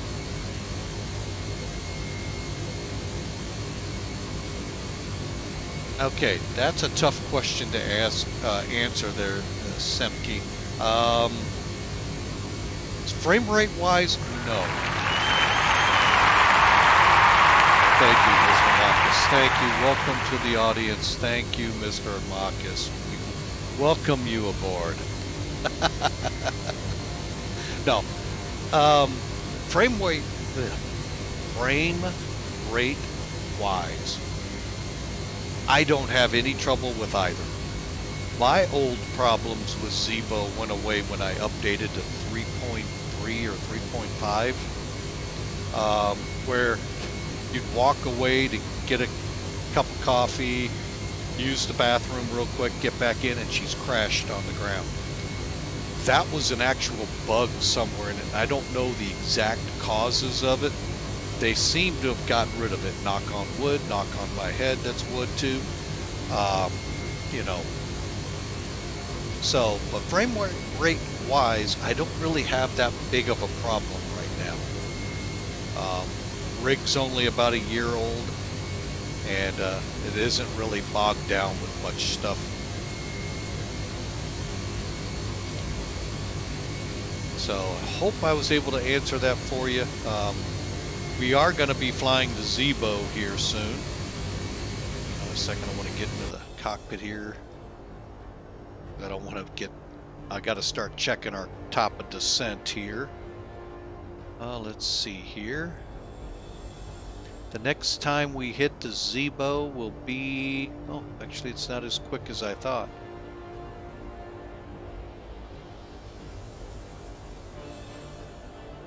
Um... Looks like uh, the Tuesday... Oh, wait a minute. yeah, the Tuesday after Thanksgiving, so... Uh, which will be the 30th of November, because I know a lot of y'all are not in the U.S. to celebrate it. So that's the next time I'm scheduled to fly it. Not to say I may not do an airplane swap before then. But yeah, my frames seem to do pretty good.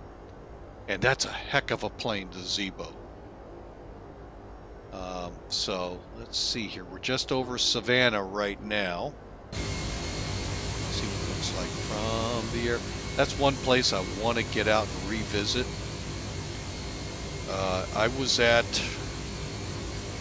This is where I get confused. I was out there in the uh, early to mid 80s. If those of you are familiar with and around back then, um, when Grenada uh, we went into Grenada to rescue some people and all.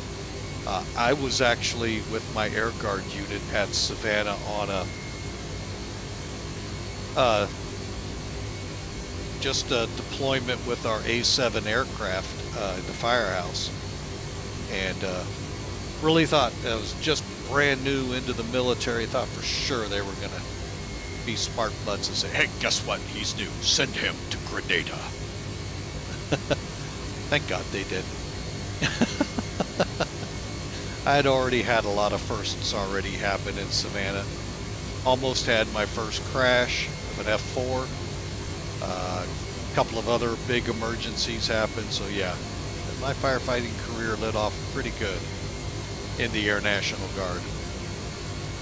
The reason the F4 almost crashed, as you can see, uh, the topography of the area would be good for a little animal called seagulls. We all know seagulls from Sully and the miracle on the Hudson. Well, he took one, not in the engine, although I think he did. Um, more importantly, it came through his cockpit, hit him, threatened to punch out. Oh yeah, it was, yeah. it was a great, great trip. Learned a lot, like I said. Learned a lot. So, uh, those were the good old days. This, that's what they call it, I believe.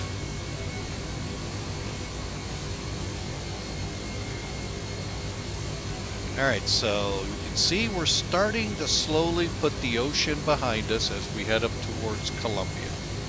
So between here and Columbia, we will have started our descent. Now where I lived as a kid, not sure if we'll be able to... Oh, right there. Might be Charleston. Anyway, I lived in Charleston when I was 10 years old uh, during the bicentennial, uh, 200 years of the country.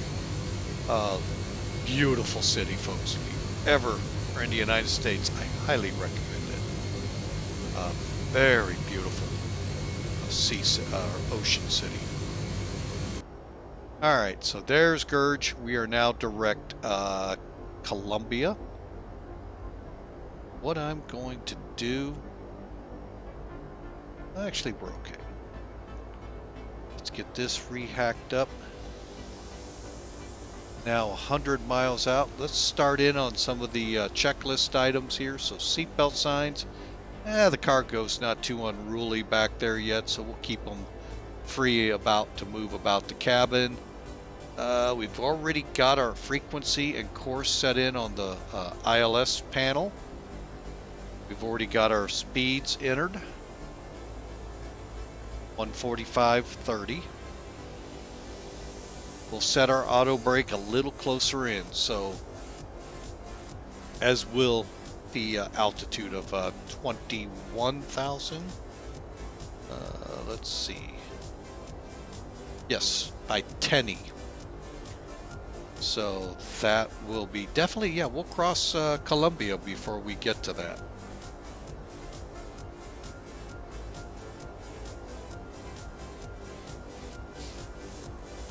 Progress.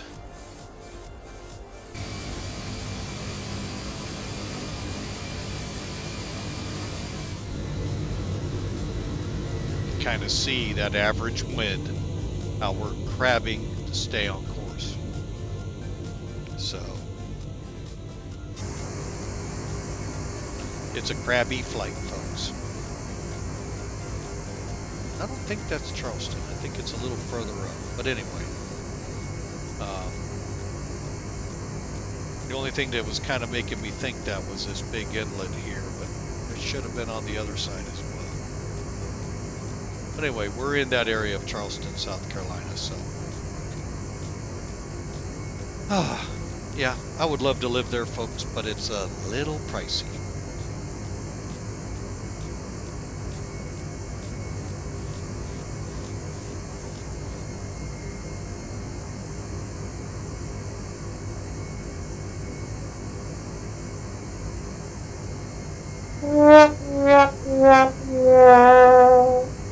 Yeah, yeah,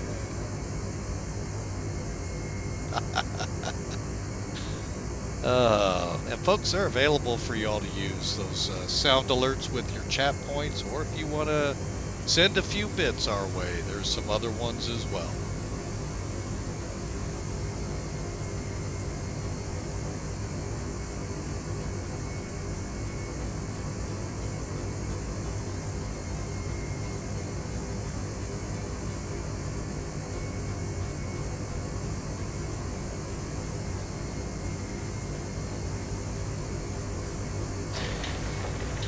Flying a plane is no different than riding a bicycle. Just a lot harder to put baseball cards in the spokes.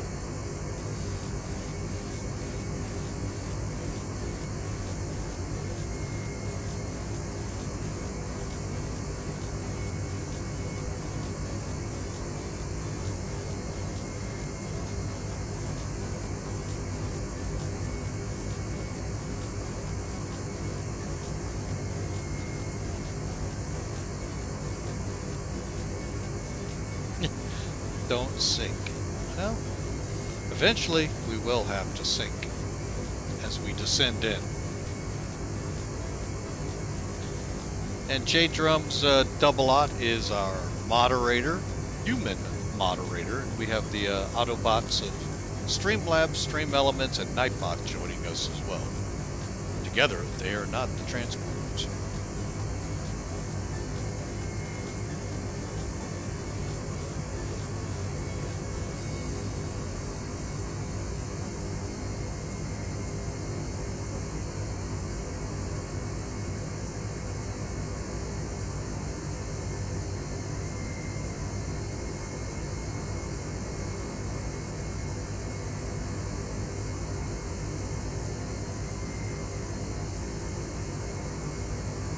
A nice close up here before we start heading down.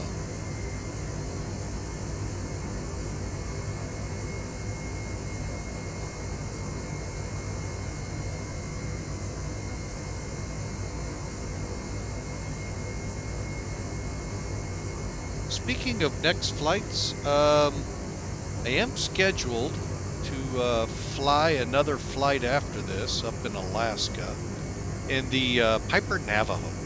We'll be going from Fairbanks over to Northway, I believe it's called. Let me uh, do a quick look here and then we'll see where we stand. Uh, P-A-O-R. Called Northway. It's about a 90 to 100 or so mile run. Weather in Fairbanks, just for those curious, well, could be better. Broken at 1800. Let's see, a mile and three quarters in light snow. Overcast 3,800 feet. And it's uh, a balmy. Hang on a second. Uh,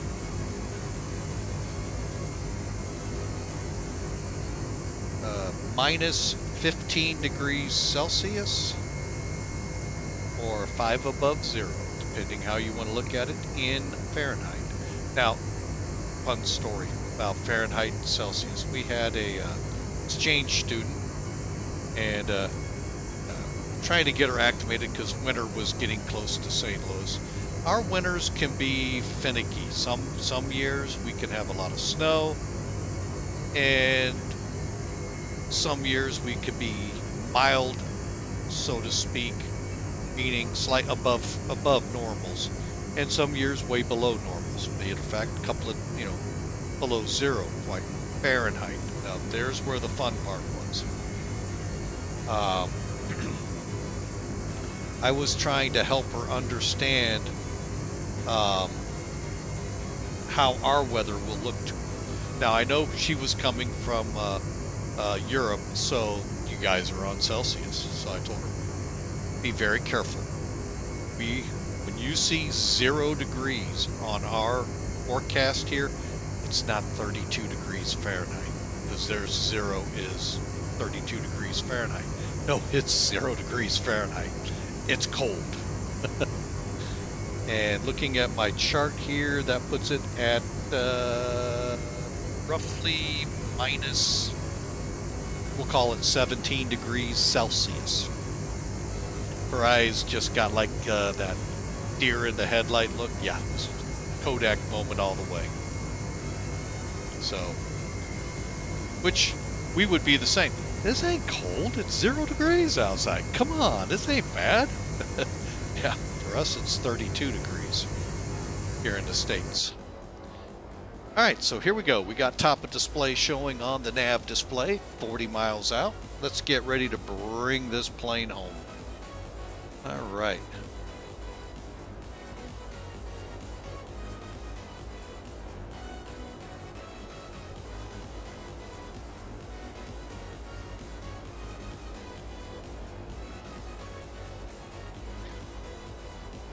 Okay, so we got the auto brakes. We'll go ahead and set them now to three just because I don't want to forget our DH.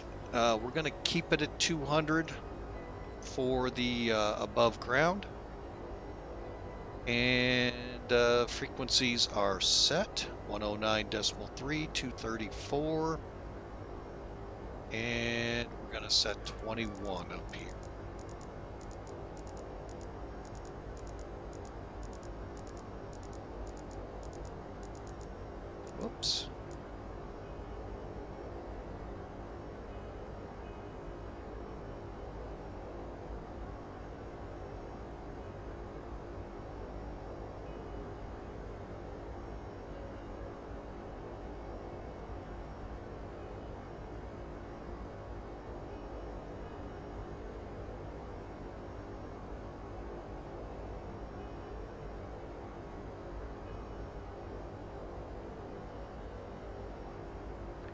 Okay, as soon as we round the curve here at uh, Columbia, get wings level, we'll probably go ahead and initiate our descent.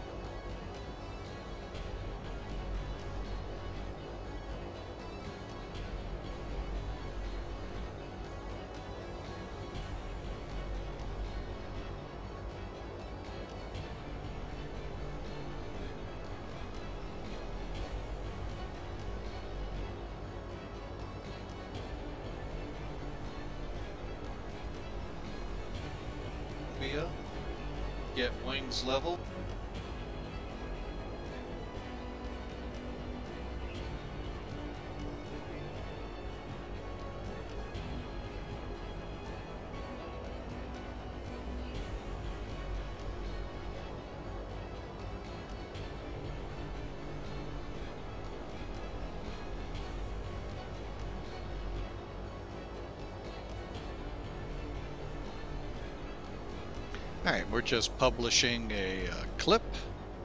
So it's out there for y'all to watch as we come around the horn here and prepare to set up for our descent, which is now 10 miles or so out. Maybe 20. Yeah, 17 miles out. Okay.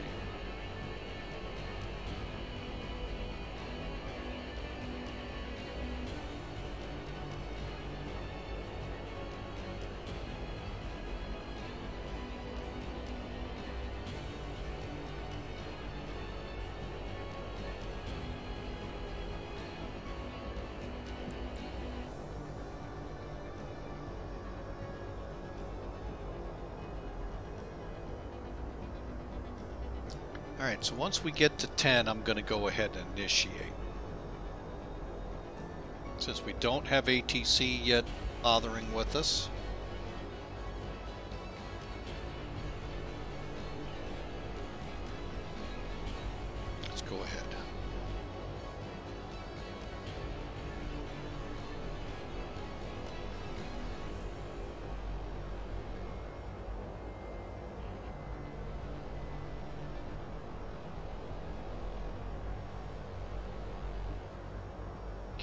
Starting our descent.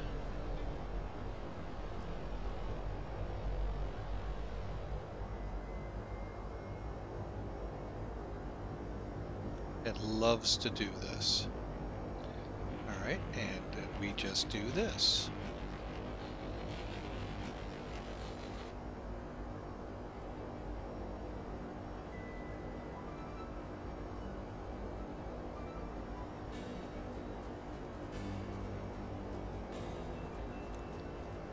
Back to 80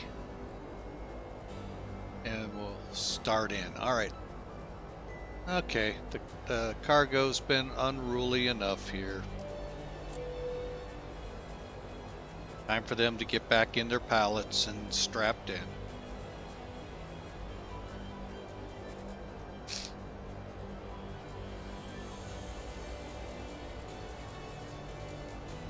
Alright folks, we are now starting in for our arrival. One last check, seatbelt sign is on. Uh, frequency and course set. Uh, flap speed, just double checking to make sure is set. Uh, verified VREF at 145, that's good. And auto brake at 3. DH on here is 200. And frequencies and headings set in our radio.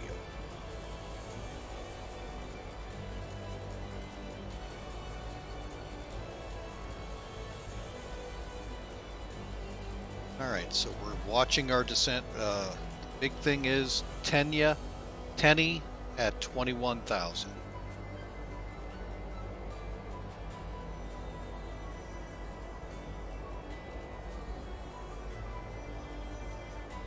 This radar is showing ground terrain. This one, if there was any, would be weather. Just to kind of reacclimate everyone since we've been taking a look at the Beautiful flight factor 767. That's Columbia behind us.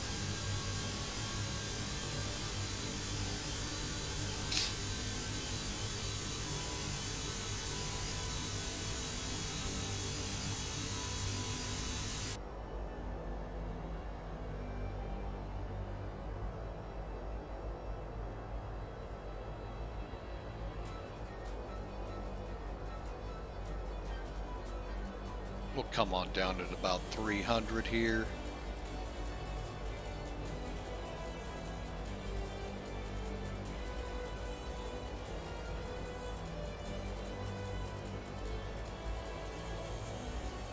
Okay, now this descent profile shows us past Tenya, or Tenny, so we're going to steepen it up.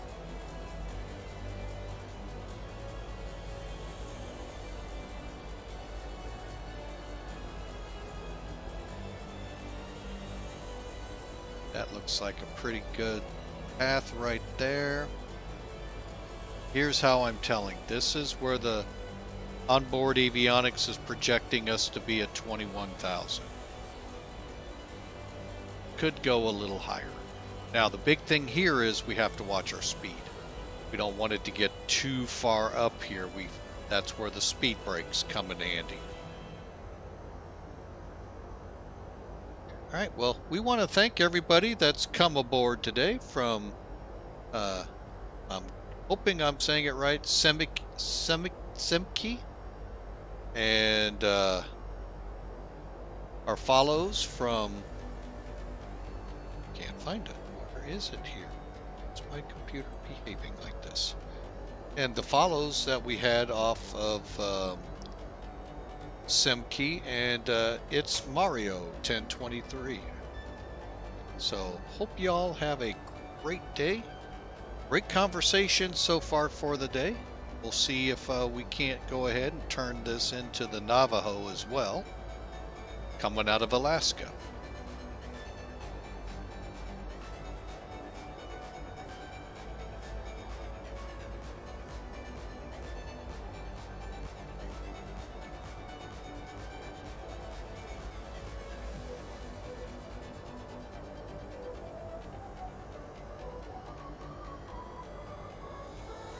And also had a conversation with Hetman Triple Seven. Hope uh, hope you're having all having an awesome Wednesday, as I call Hump Day. Hump Day.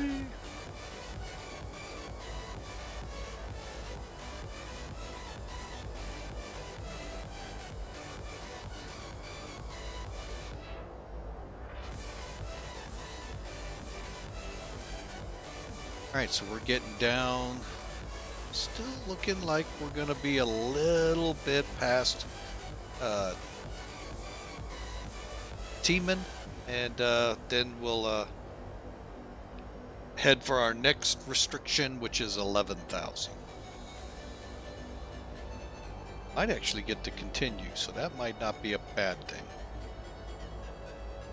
Now let's see here. Center is up. Uh, let's pull up uh, X Pilot. Oh, what's not? Nice. Oh, let's see here. Oh, man.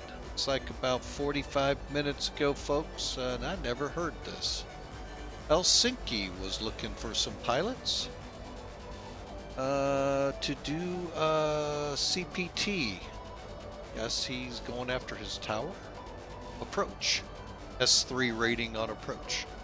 So, those of you out there, he may still be looking for traffic. No center is available at this time, so we will continue in on Unicom. And right now, I'm going to go ahead and start dialing us down.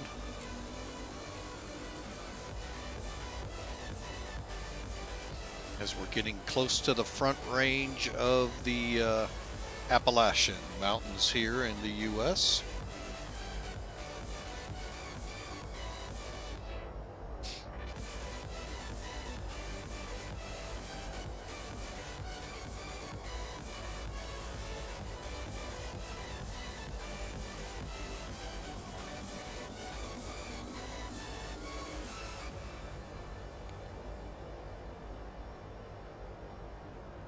All right. We're going to do kind of move into a somewhat sterile cockpit. And uh, we're going to let one song just play so it doesn't distract.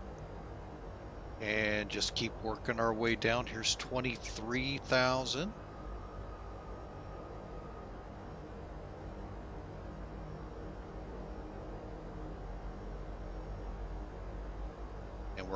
10 right now. So we're going to set. Oh, we're at 21. We're going to set for 11.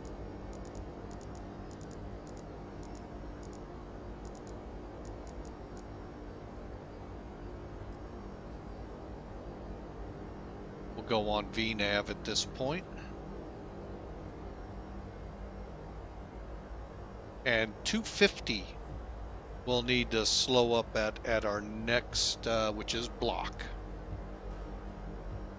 But folks, we'd love for you to fly along. You know, always would. We are working to get a group flight going. Um, it's going to be uh, coming up here shortly. I haven't set a date yet on it. I'm still kind of wondering what people are wanting to fly. Um, I've got a couple of routes out there uh, on our Discord channel. Uh, feel free to head over there and cast a vote. I think I'm going to let it go until, um, well, let's see. trying to see what day we are. I think uh, Thanksgiving. I'll call it off, and where the votes land uh, is where we're going to land. Now, the routes that you see set up uh, can go either way. So, for instance, Birmingham to Philly. If you want to go Philly to Birmingham, that's fine. Same thing with uh, Naples, Italy to Lake Geneva, Switzerland. Can be the other way around. What I'm looking for is to try to challenge, get a little bit of a challenge out to y'all. The other one is a challenge Miami to Toncontin, Honduras. I think that would be best that way. You've never flown the approach into Toncontin, folks, it is fun. Especially if runway, I think it's 20 is up. Maybe it's runway 2. Whatever. It is amazing. And it is not easy. It's all about speed and being dead on on those turns. Uh, same with, uh, well, I also threw in Salt Lake Edmonton because of the scenery. And that was the same thing with Naples to uh, Lake Geneva. Coming into the Swiss Alps, some of you will have scenery that'll be mesmerizing. Me, I have default. And it's still mesmerizing to this guy, this 56 year old.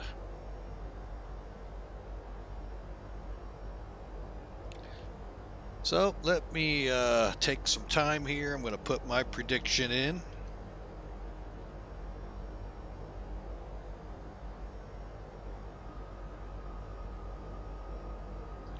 And that's the format, folks. Just simply put the exclamation mark, the word predict, the minus key afterwards, put a space in there first, then the minus key, and then whatever number you want for the landing.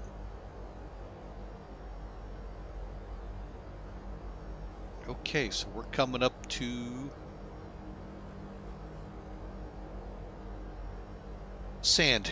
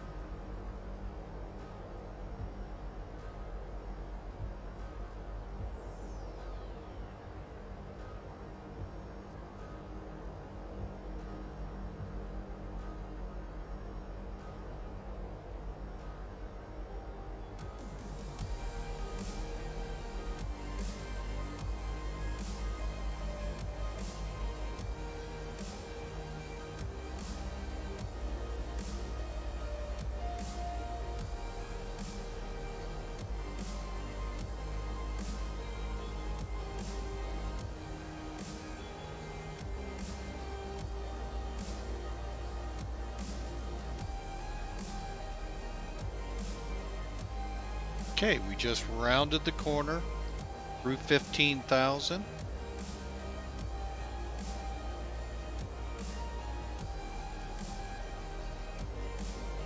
And our descent is right on track.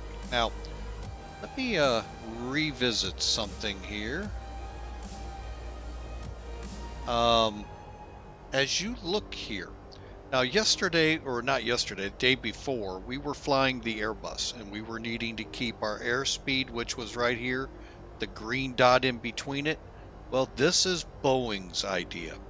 They have this little scale here on your nav display and this uh, diamond is to you're below, you're above. So it's really like an ILS and you're just keeping it there. The green dot is right here. You keep it between the lines. So anyway, just wanted to point that out since uh, probably a lot of confusion. We're going to go ahead now, get ready for the approach. 10,000 feet. Transition level will come in here. So we got, uh, oh boy, what was it? 21, I believe. Latest and greatest 3021.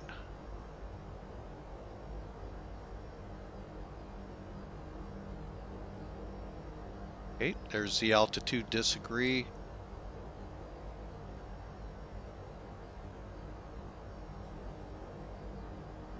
And we're now set up. Okay, so we're almost there. Now we got to slow to 150, lights on.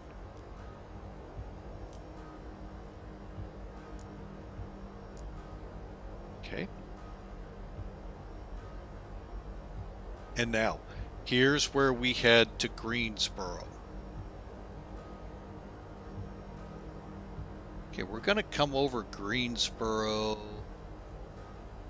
no lower than 3,100 feet. Okay, I'm going to try for 5,000 and then we'll head on out to Brant. Okay, we're going to make 11,000 with no trouble at all. And I am going to get us now slowing. We'll utilize level flight here for a moment to help us slow down.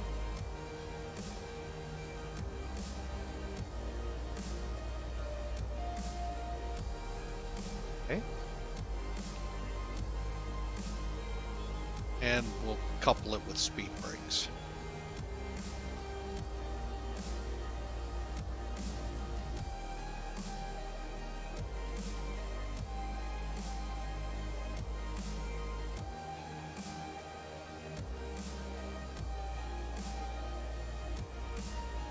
Okay, we're just about there. Let's go ahead to send now to six or 5,000.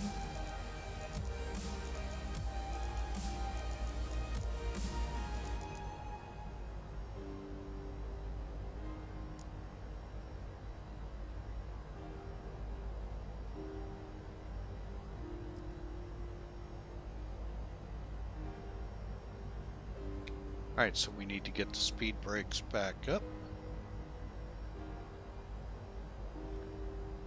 Alright, the big thing now is watching speeds. I'm going to head us down a little steeper than normal. If we need it, we'll put the speed brakes to work.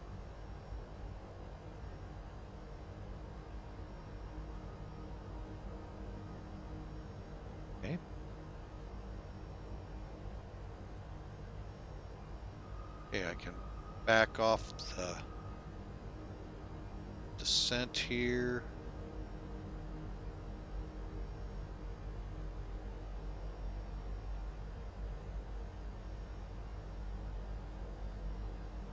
That's pretty good right there.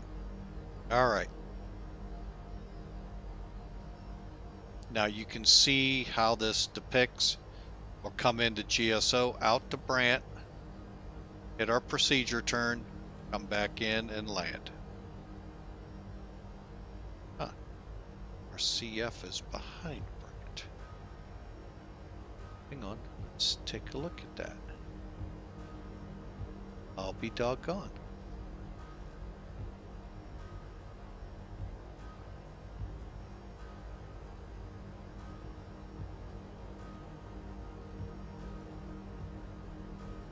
Well, that'll work for me even better. We'll make sure it executes it though.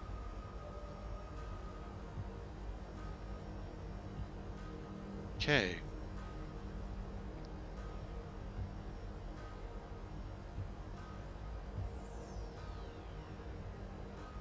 All right, folks, we'd love for you to put some guesses in and see what your luck is like. You fly with Mike, you never know what'll happen on landing.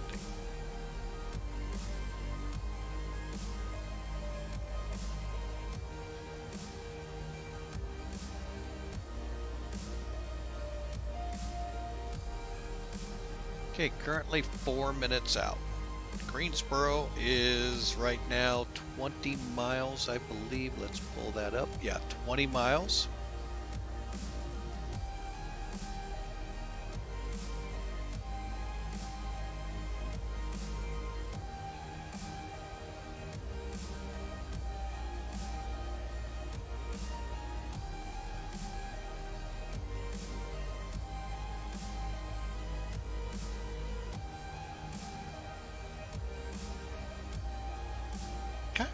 Like this song. It's uh, Scent, uh, Goodbye Gravity is the group that did it. I really love the song.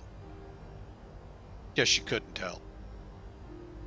Okay, here we are leveling near 5,000.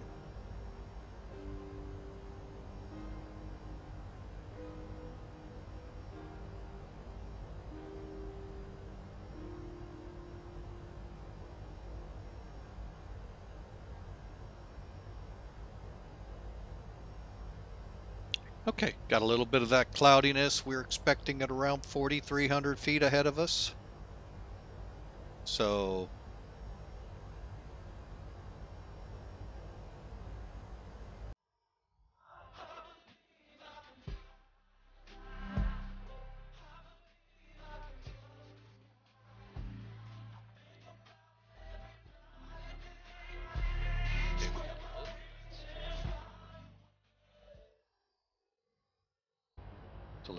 that in.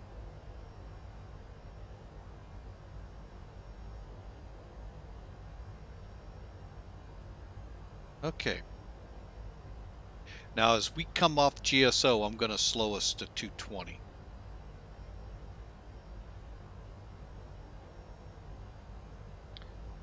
And I'm going to go ahead for safety. We're going to put on the uh, engine bleeds. Even though there's not supposed to be rain here, let's be safe. We're not worried about freezing temperatures, but you know, you never know what we're going to run across. Let's kind of get a lay of the land. believe our airport is right up here, folks.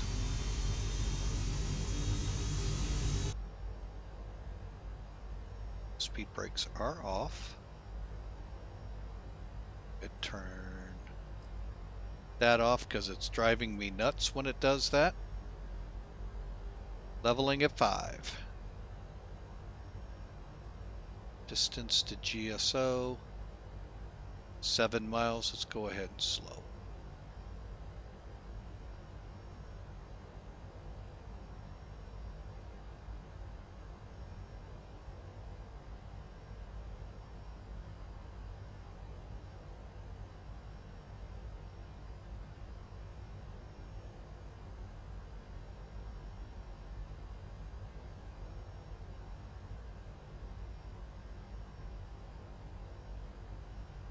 Okay, and that's going to put us right below flap speed, which is perfect because as soon as we initiate it, I'm going to kick out one notch of flaps and uh, carry that uh, until we turn inbound and then we'll get her into the 10 degree range. When we line up and start coming in and we grab the glide slope, gear will come down, flaps will begin to roll out full, and uh, there we go. Let's go ahead dial this down.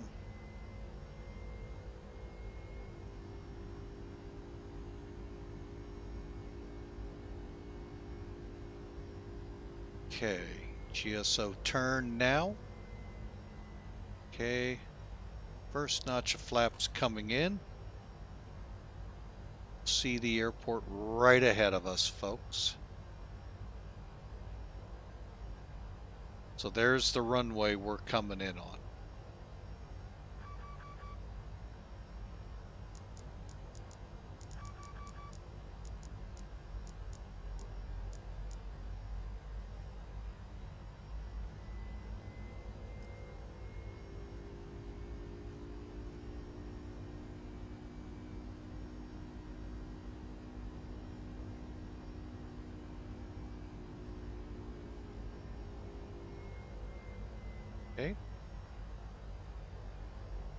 I am gonna pull this one back one more.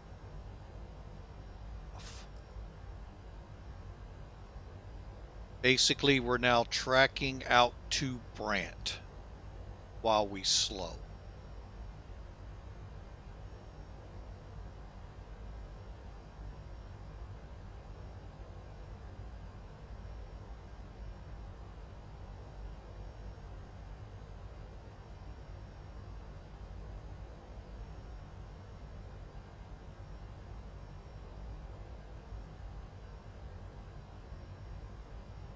Okay, here comes 3100.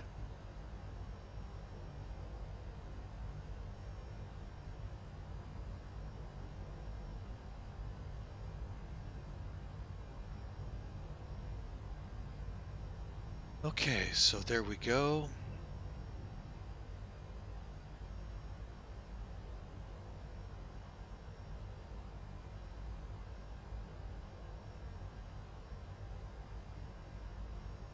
I want to watch this as we're really are bobbling here.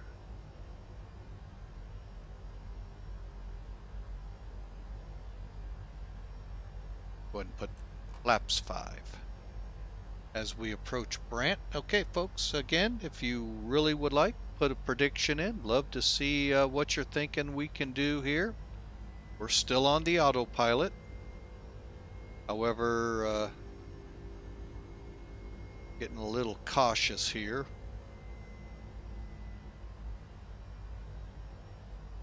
Okay, we just crossed Brant. We're heading out to catch the procedure turn.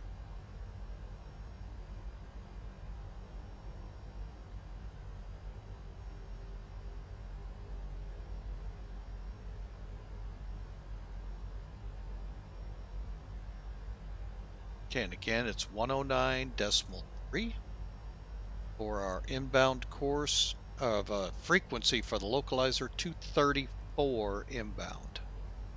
Outbound is uh, 054.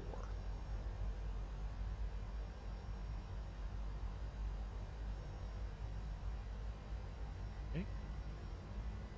Pressing on, heading out. Well, maybe I will turn terrain just to be safe.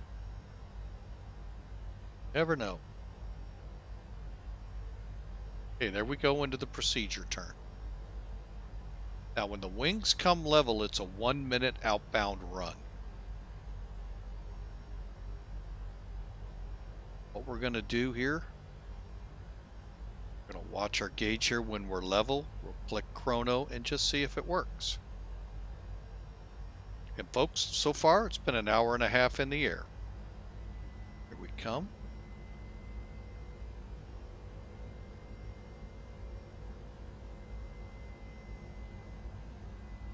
One minute.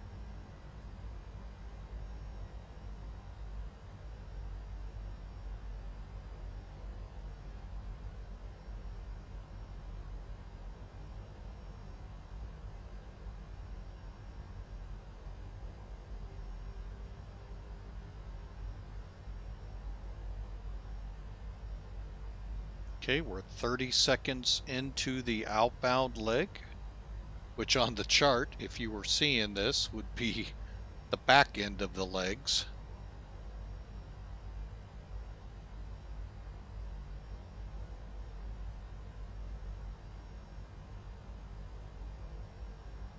Okay, coming up on 15 seconds to go.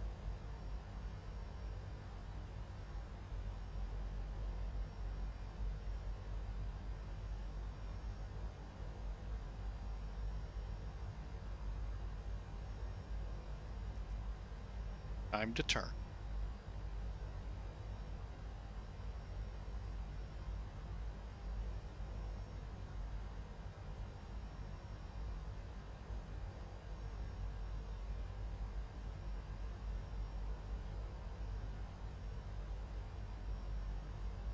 Sure, we're still LNAV. We're still not turning.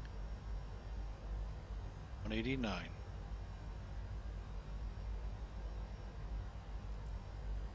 Okay.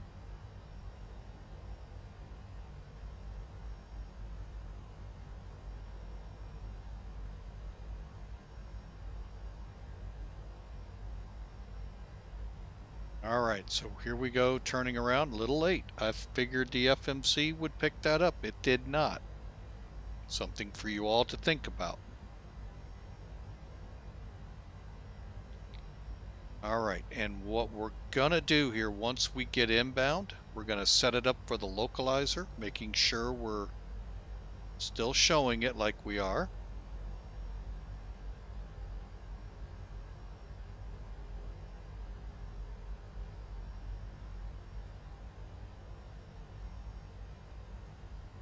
Right now, we're 24 miles out. I've, no. Correction, we are not.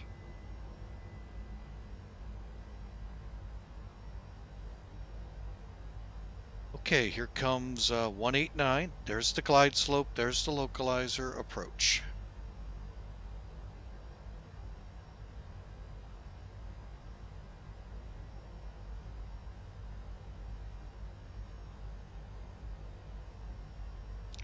Slow us up to 210.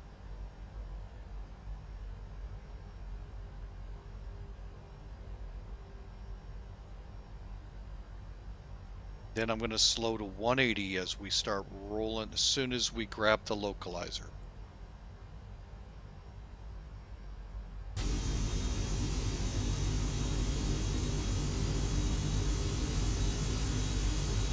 Neat little airport out here. Not much to it, but pretty neat nonetheless.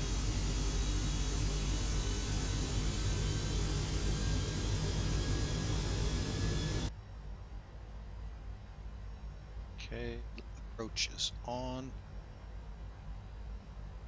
Sure, we turn. We've had a problem with that with the 7-4.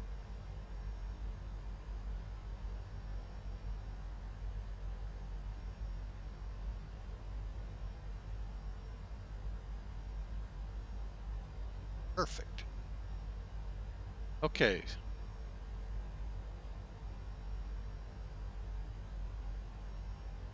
Once we're wings level, I'm going to slow to 160, using the level flight as a way to make it easier to slow down without using my speed brakes.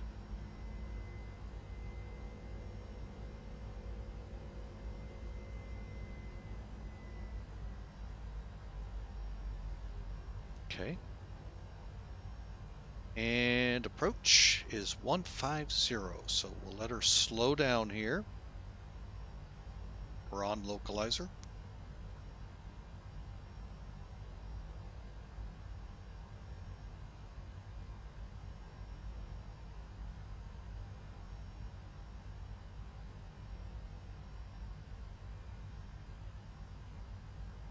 Oh, excuse me, folks. All right, there we are on the chart again. All right, so we are lining up here, folks. And as soon as I see the glide slope on the move, go to flaps 10. Go ahead and go to flaps 10 now.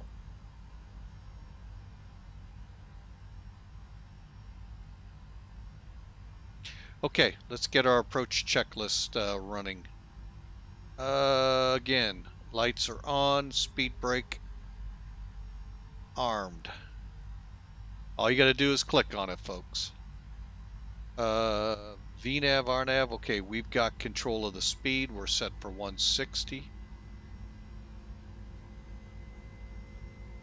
Taining.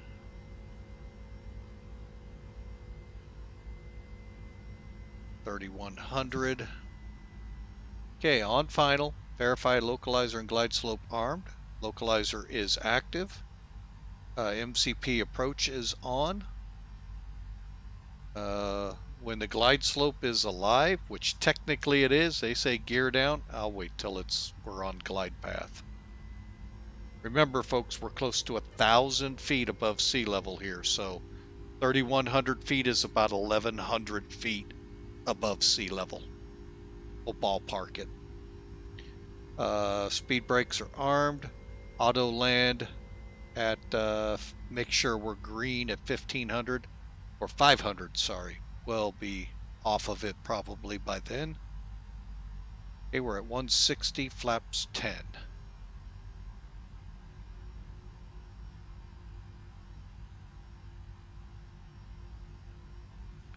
Looking for the runway.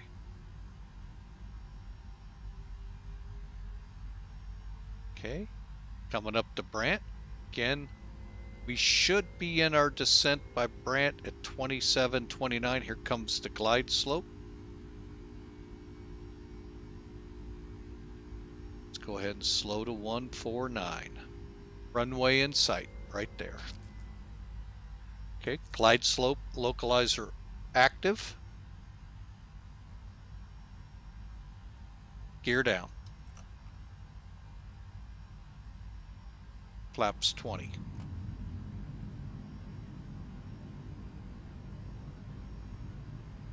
Okay. Currently 1870 above ground. We're good. Uh, Piedmont Triad. Traffic uh, FedEx 811 Heavy Type 767. Gear down, final, 2-3 left.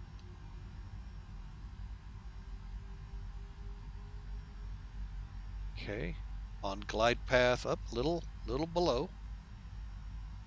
See if she uh, makes up for it. Going 25 degrees onto flaps. 1500 feet, land 3 green. We could auto land. What's all the fun in that? Going flaps full. Final checks. Okay, we're glide slopes active, localizer active, flaps 30 and 30. Speed One brakes armed, slope. 3 green. Glide slope. Yeah, we're gonna Glide have to. Glide slope. Glide slope. Slope. Slope. Slope. Okay, we're gonna Glide take slope. over. Glide slope. Glide slope. Slope. Slope. Slope. Slope. Ease up onto dive planes here. Get her back into configuration, 150. Brake set 3, 3 green, cleared to land. Stable. High.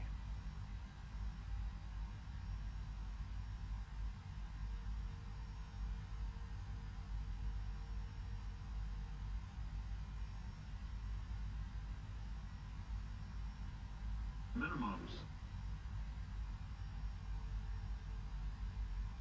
Okay, we're going to be landing long. 100. 50, 40, 30, 20, 10.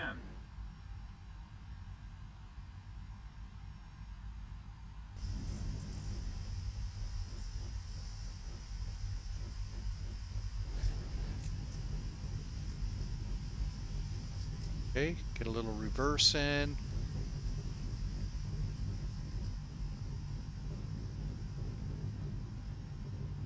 80.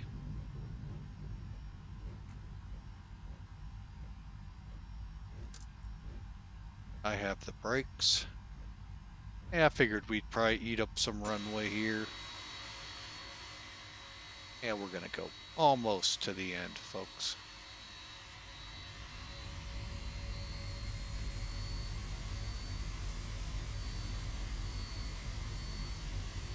Really tried to make that taxiway, but it just wasn't going to be. For Kilo 1, we're going to end up at Delta, which is fine. We ate up, uh, oh, about uh, 3 to 3, 3,500 feet of runway. So, kind of expected it at the end.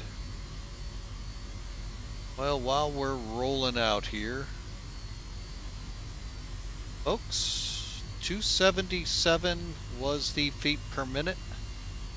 It's not a bad landing, folks. We'll get the dynamics here in a minute as soon as we clear.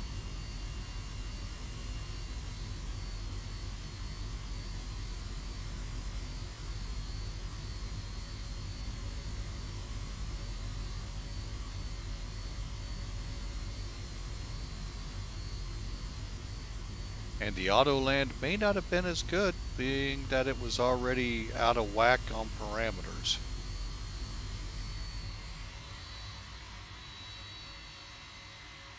Okay. And Piedmont Triad Airport, uh, FedEx 811 Heavy, Type 767 clear.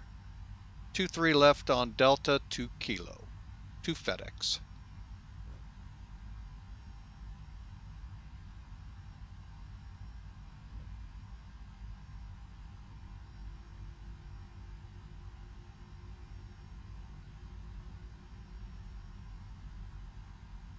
Okay. Flaps up.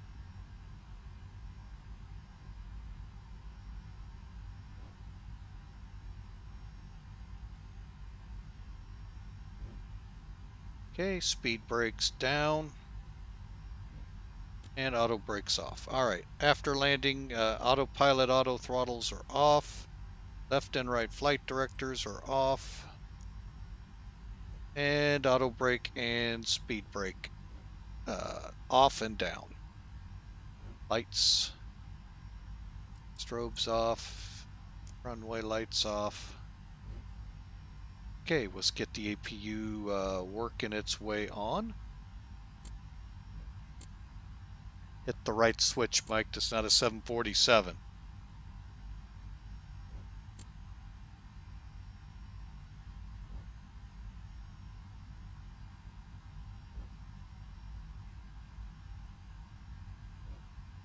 Alright, so long taxi. Basically back taxiing 10,000, uh, we'll call it 9,000 to 9,500 feet. So got a ways to go, folks. Alright, while the uh, APU's coming up, uh, we'll get the transponder transponding in the TA mode. That in menu. Menu. Alright. APU is available. So that means we can go ahead. I'm going to click the, the bleed on. But for now, we're going to just bring it in under uh, the engines. And yes, folks, we'll take a look at that landing. It got a little little on the hairy side with the auto land system, so the autopilot got a little squirrely on us.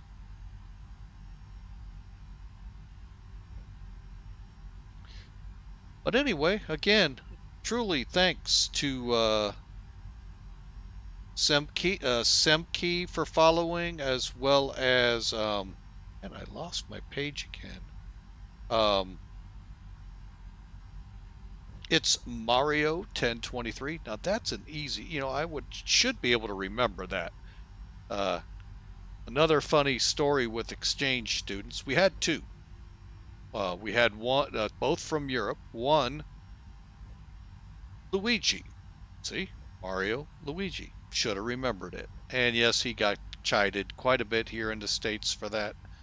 But uh, anyway, good kids, both of them, all around. Uh, although diametrically different personalities. It was amazing. Luigi, very outgoing uh, personality. Our um, Paula, our other one, she was a little more reserved, more kept things inside. Which you know, I mean, I'm not going to fault any of them, folks. I mean, they're away from home for a year. to some of us, hello, yippee, party time. I know that feeling. Um, and to some, are you know, they're away from home, they're friends and everything. So, anyway, uh, we had a great time. Highly recommend if you're thinking about being a uh, um, exchange parent, where you exchange student, especially if you have kids that also want to go over. That's what I've heard is when it's the best. We didn't do that part. We just hosted them coming over. So it was fun, folks. We truly appreciated each of their uh, personalities, and I'm here to tell you, uh, Paula was one that uh, you couldn't tell she was from Austria. She had better American English than Americans. So, and I'm even talking to highfalutin, snooty, snooty ones that think they're above everyone. She could put them in the ground in English. So, great job there. Anyway, we continue our taxi here on Kilo. Uh, wait a minute. Juliet. My bad. We're on Juliet. Oh, well, I got everyone confused here. That's cool. Love it when Flying with Mike can do that. All right. I just know go north, young man. Go north. Once you cross the pole, go south. Go south.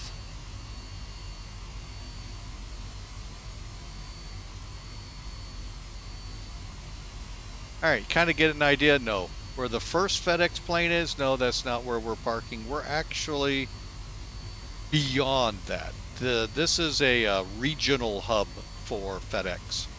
What that means is, okay, you got Memphis and you got Indianapolis, these megalopolis hubs, much like uh, Delta's. Oh no, that's a little overkill. Delta in Atlanta or Minneapolis or Detroit. But for the super hub that Memphis is, this is a smaller hub that they use to feed the airports around. And that, could go as high as Newark and Boston or Buffalo and Cleveland. But they feed them from here. So that way, let's just say you have a package in Cleveland that needs to get to, or to uh, Tallahassee. Well, instead of funneling it through Memphis uh, or Indianapolis, it goes to here to there. And let's say it's during the day. It's, you know, it's an overnight. It has to be there tomorrow. And you just gave it to them. Well, they leave. They got into to here.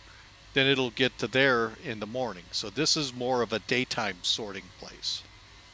So it's really, you know, I like, you know, it's a neat little airport. Aside from the fact they don't park this way, folks, they park like this one does.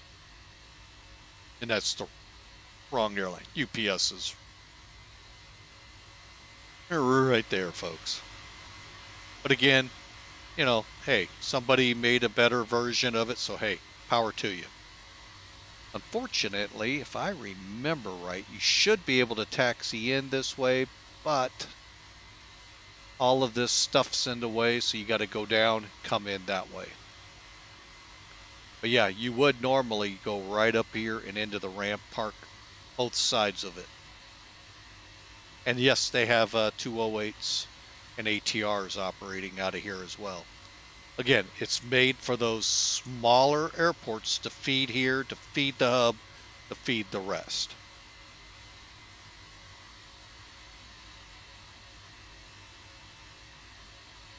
All right, so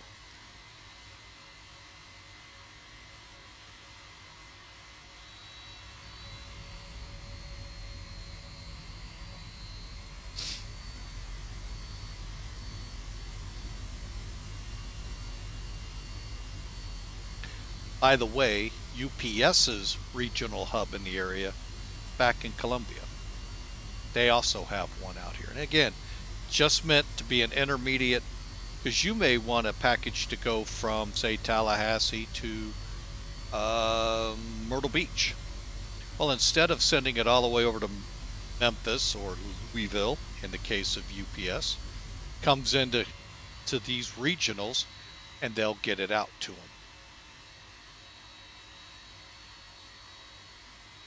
So it's a little bit like it is regional.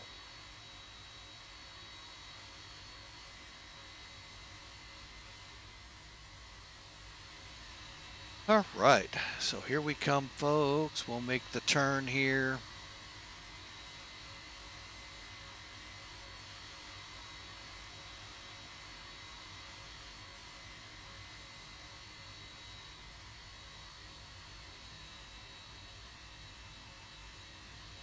And what I'm going to do is just park right next to that uh, UPS, only because it looks simpler.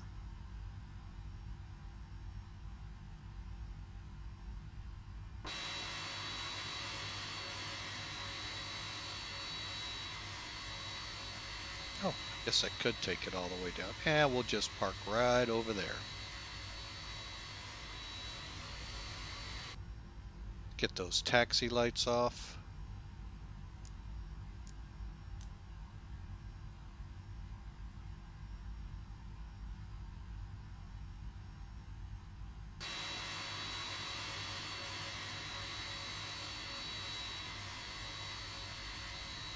See how you should be able to go straight out and there's ladders and stuff in the way. Again, we're not going to call out the maker or anything, folks. I'm just glad there was scenery for here because default was really horrible. Matter of fact, I don't even remember if this was even on it. So,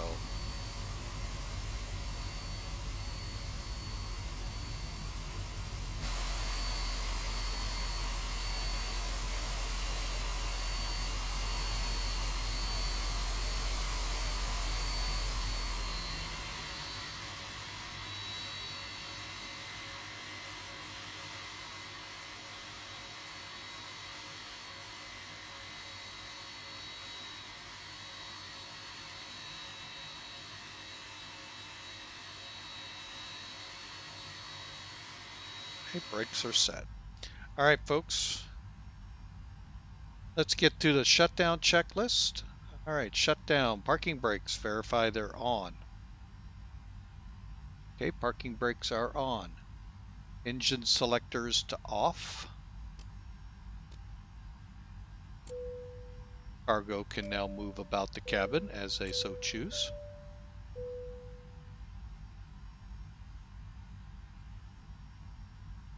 Fuel selectors off. Oh, hang on, Mike. You forgot to turn the generator on. There we go.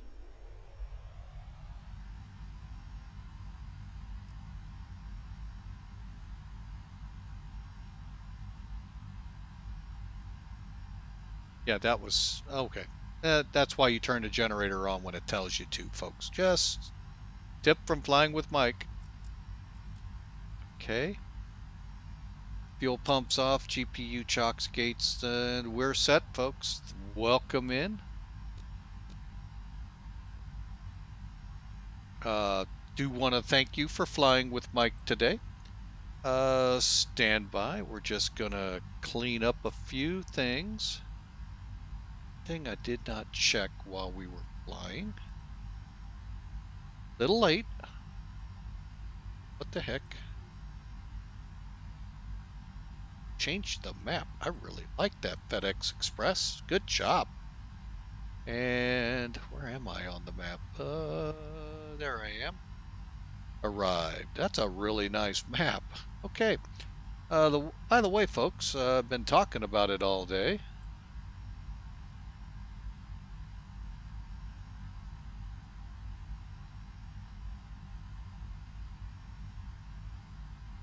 The website, the FedEx Express. Hang on, I just got to take out the S here. Doink. Yes, if you uh, thinking about joining a VA, they are really good. We'll stop and log. Cool.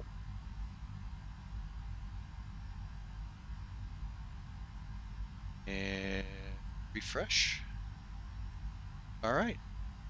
So yeah, really good VA folks. If you're really looking for uh, someone to join, they would be good for you. They're really good. They do want you to know how to fly a little bit, but that's as far as the little bit goes. Uh, let us, let's see, we got that turned off. Let me make sure nobody's trying to join me up here.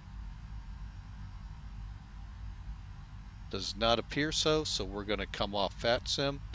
Either way, I get kicked off no matter what. And okay, so everything, oh, and uh, Sim Toolkit. Oh yeah, I forgot Volanta was running.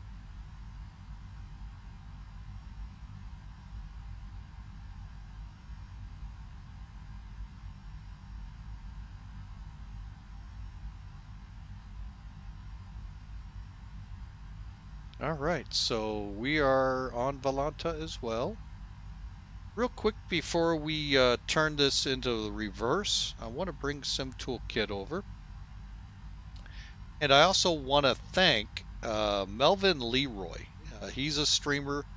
Uh, he likes to stream GA, but oh, don't don't let that fool you. He'll throw a, a curveball at you every now and then and put the uh, heavy iron in the air or a three holer, and not heavy.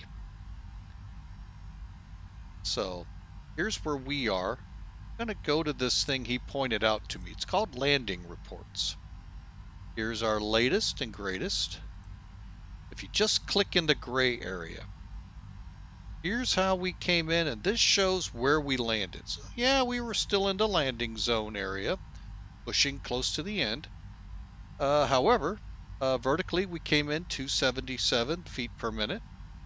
Speed 136, uh, VREF was 144, so a little, little slow. G-force uh, right on 1.1, so very should when we watch this really be hard to tell we were on the ground. But it's a neat feature that's in Sim Toolkit under landing reports. The big thing showing you where in relation to the center line. Hard to tell, but that black line there, folks, is not that one. Uh, no, that's not me burning to some of you all.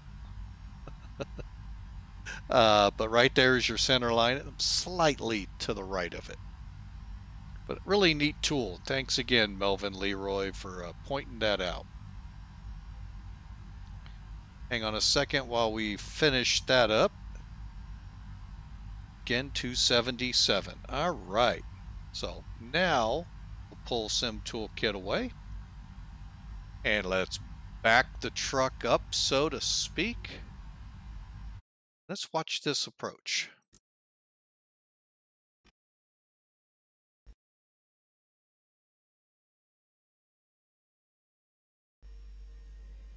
Get out just a tad more and pause. Of course, folks, we have to have the kind of music one expects for an arrival. How about the grand finale?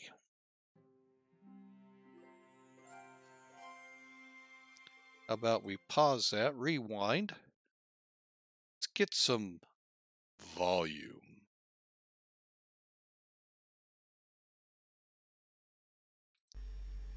Okay, we're on our way and pushed. We already know what it looked like in the cockpit, folks. Let's watch it from here.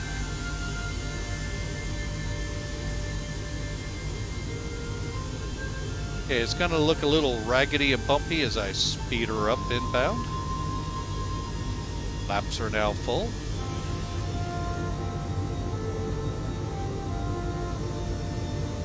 I always, for some reason, like this side when we come in. And here we go.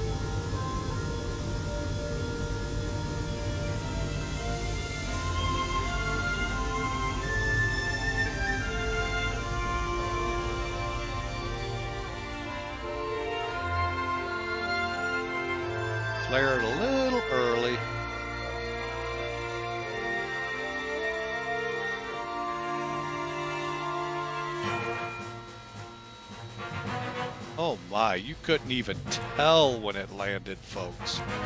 Oh, wow. Well, that minus 277 is kind of hard to believe. Let's take her back out again.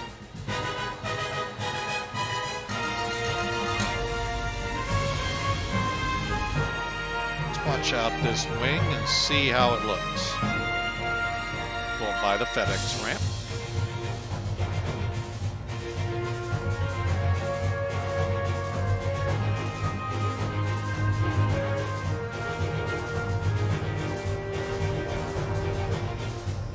Well, you could kind of tell when she hit the ground. I had a hard time telling I was on the ground.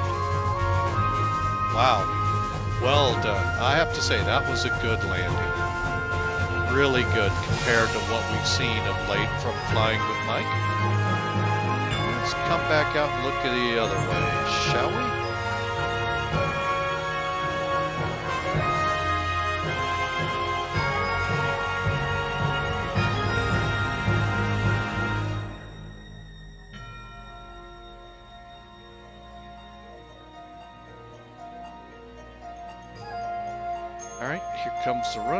Yeah, we are just on the center line with that main. Boom. Yeah, I had a hard time telling I was on the ground. Reverse. Wow. That was a really good landing, folks. Uh, I, I will say, that was really good. Uh, really thank you all for flying with Mike here. Um, I am going to go offline get a couple things taken care of before we uh, set up for the uh, Navajo flight. Now my favorite arrival. I call this the JD Drum or J Drums approach picture. He would love to be able to out, be out there and take pictures like that.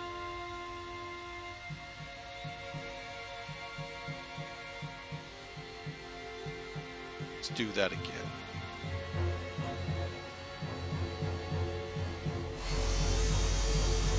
Look at that, folks. Just love it.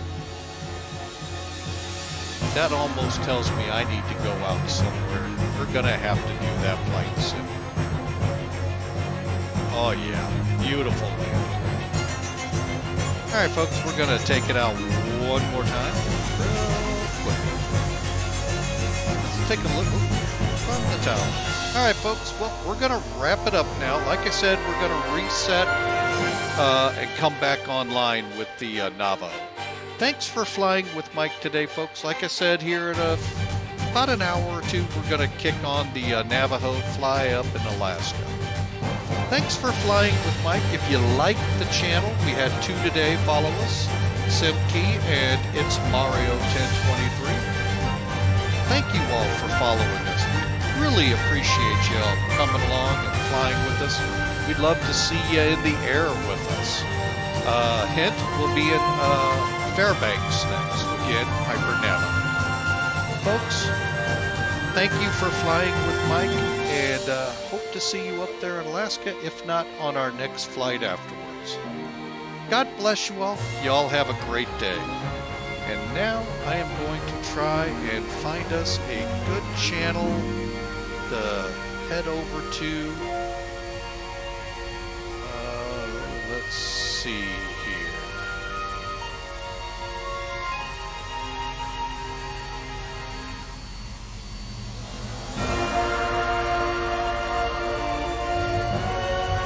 Let's head over to Hawker Driver. Looks like he's up in uh, Cessna or Piper, one of the two. So hope y'all enjoy the, the flight with him. Like I said, about an hour or two we'll be back on with the uh, uh, Piper Navajo. Have a great day. God bless.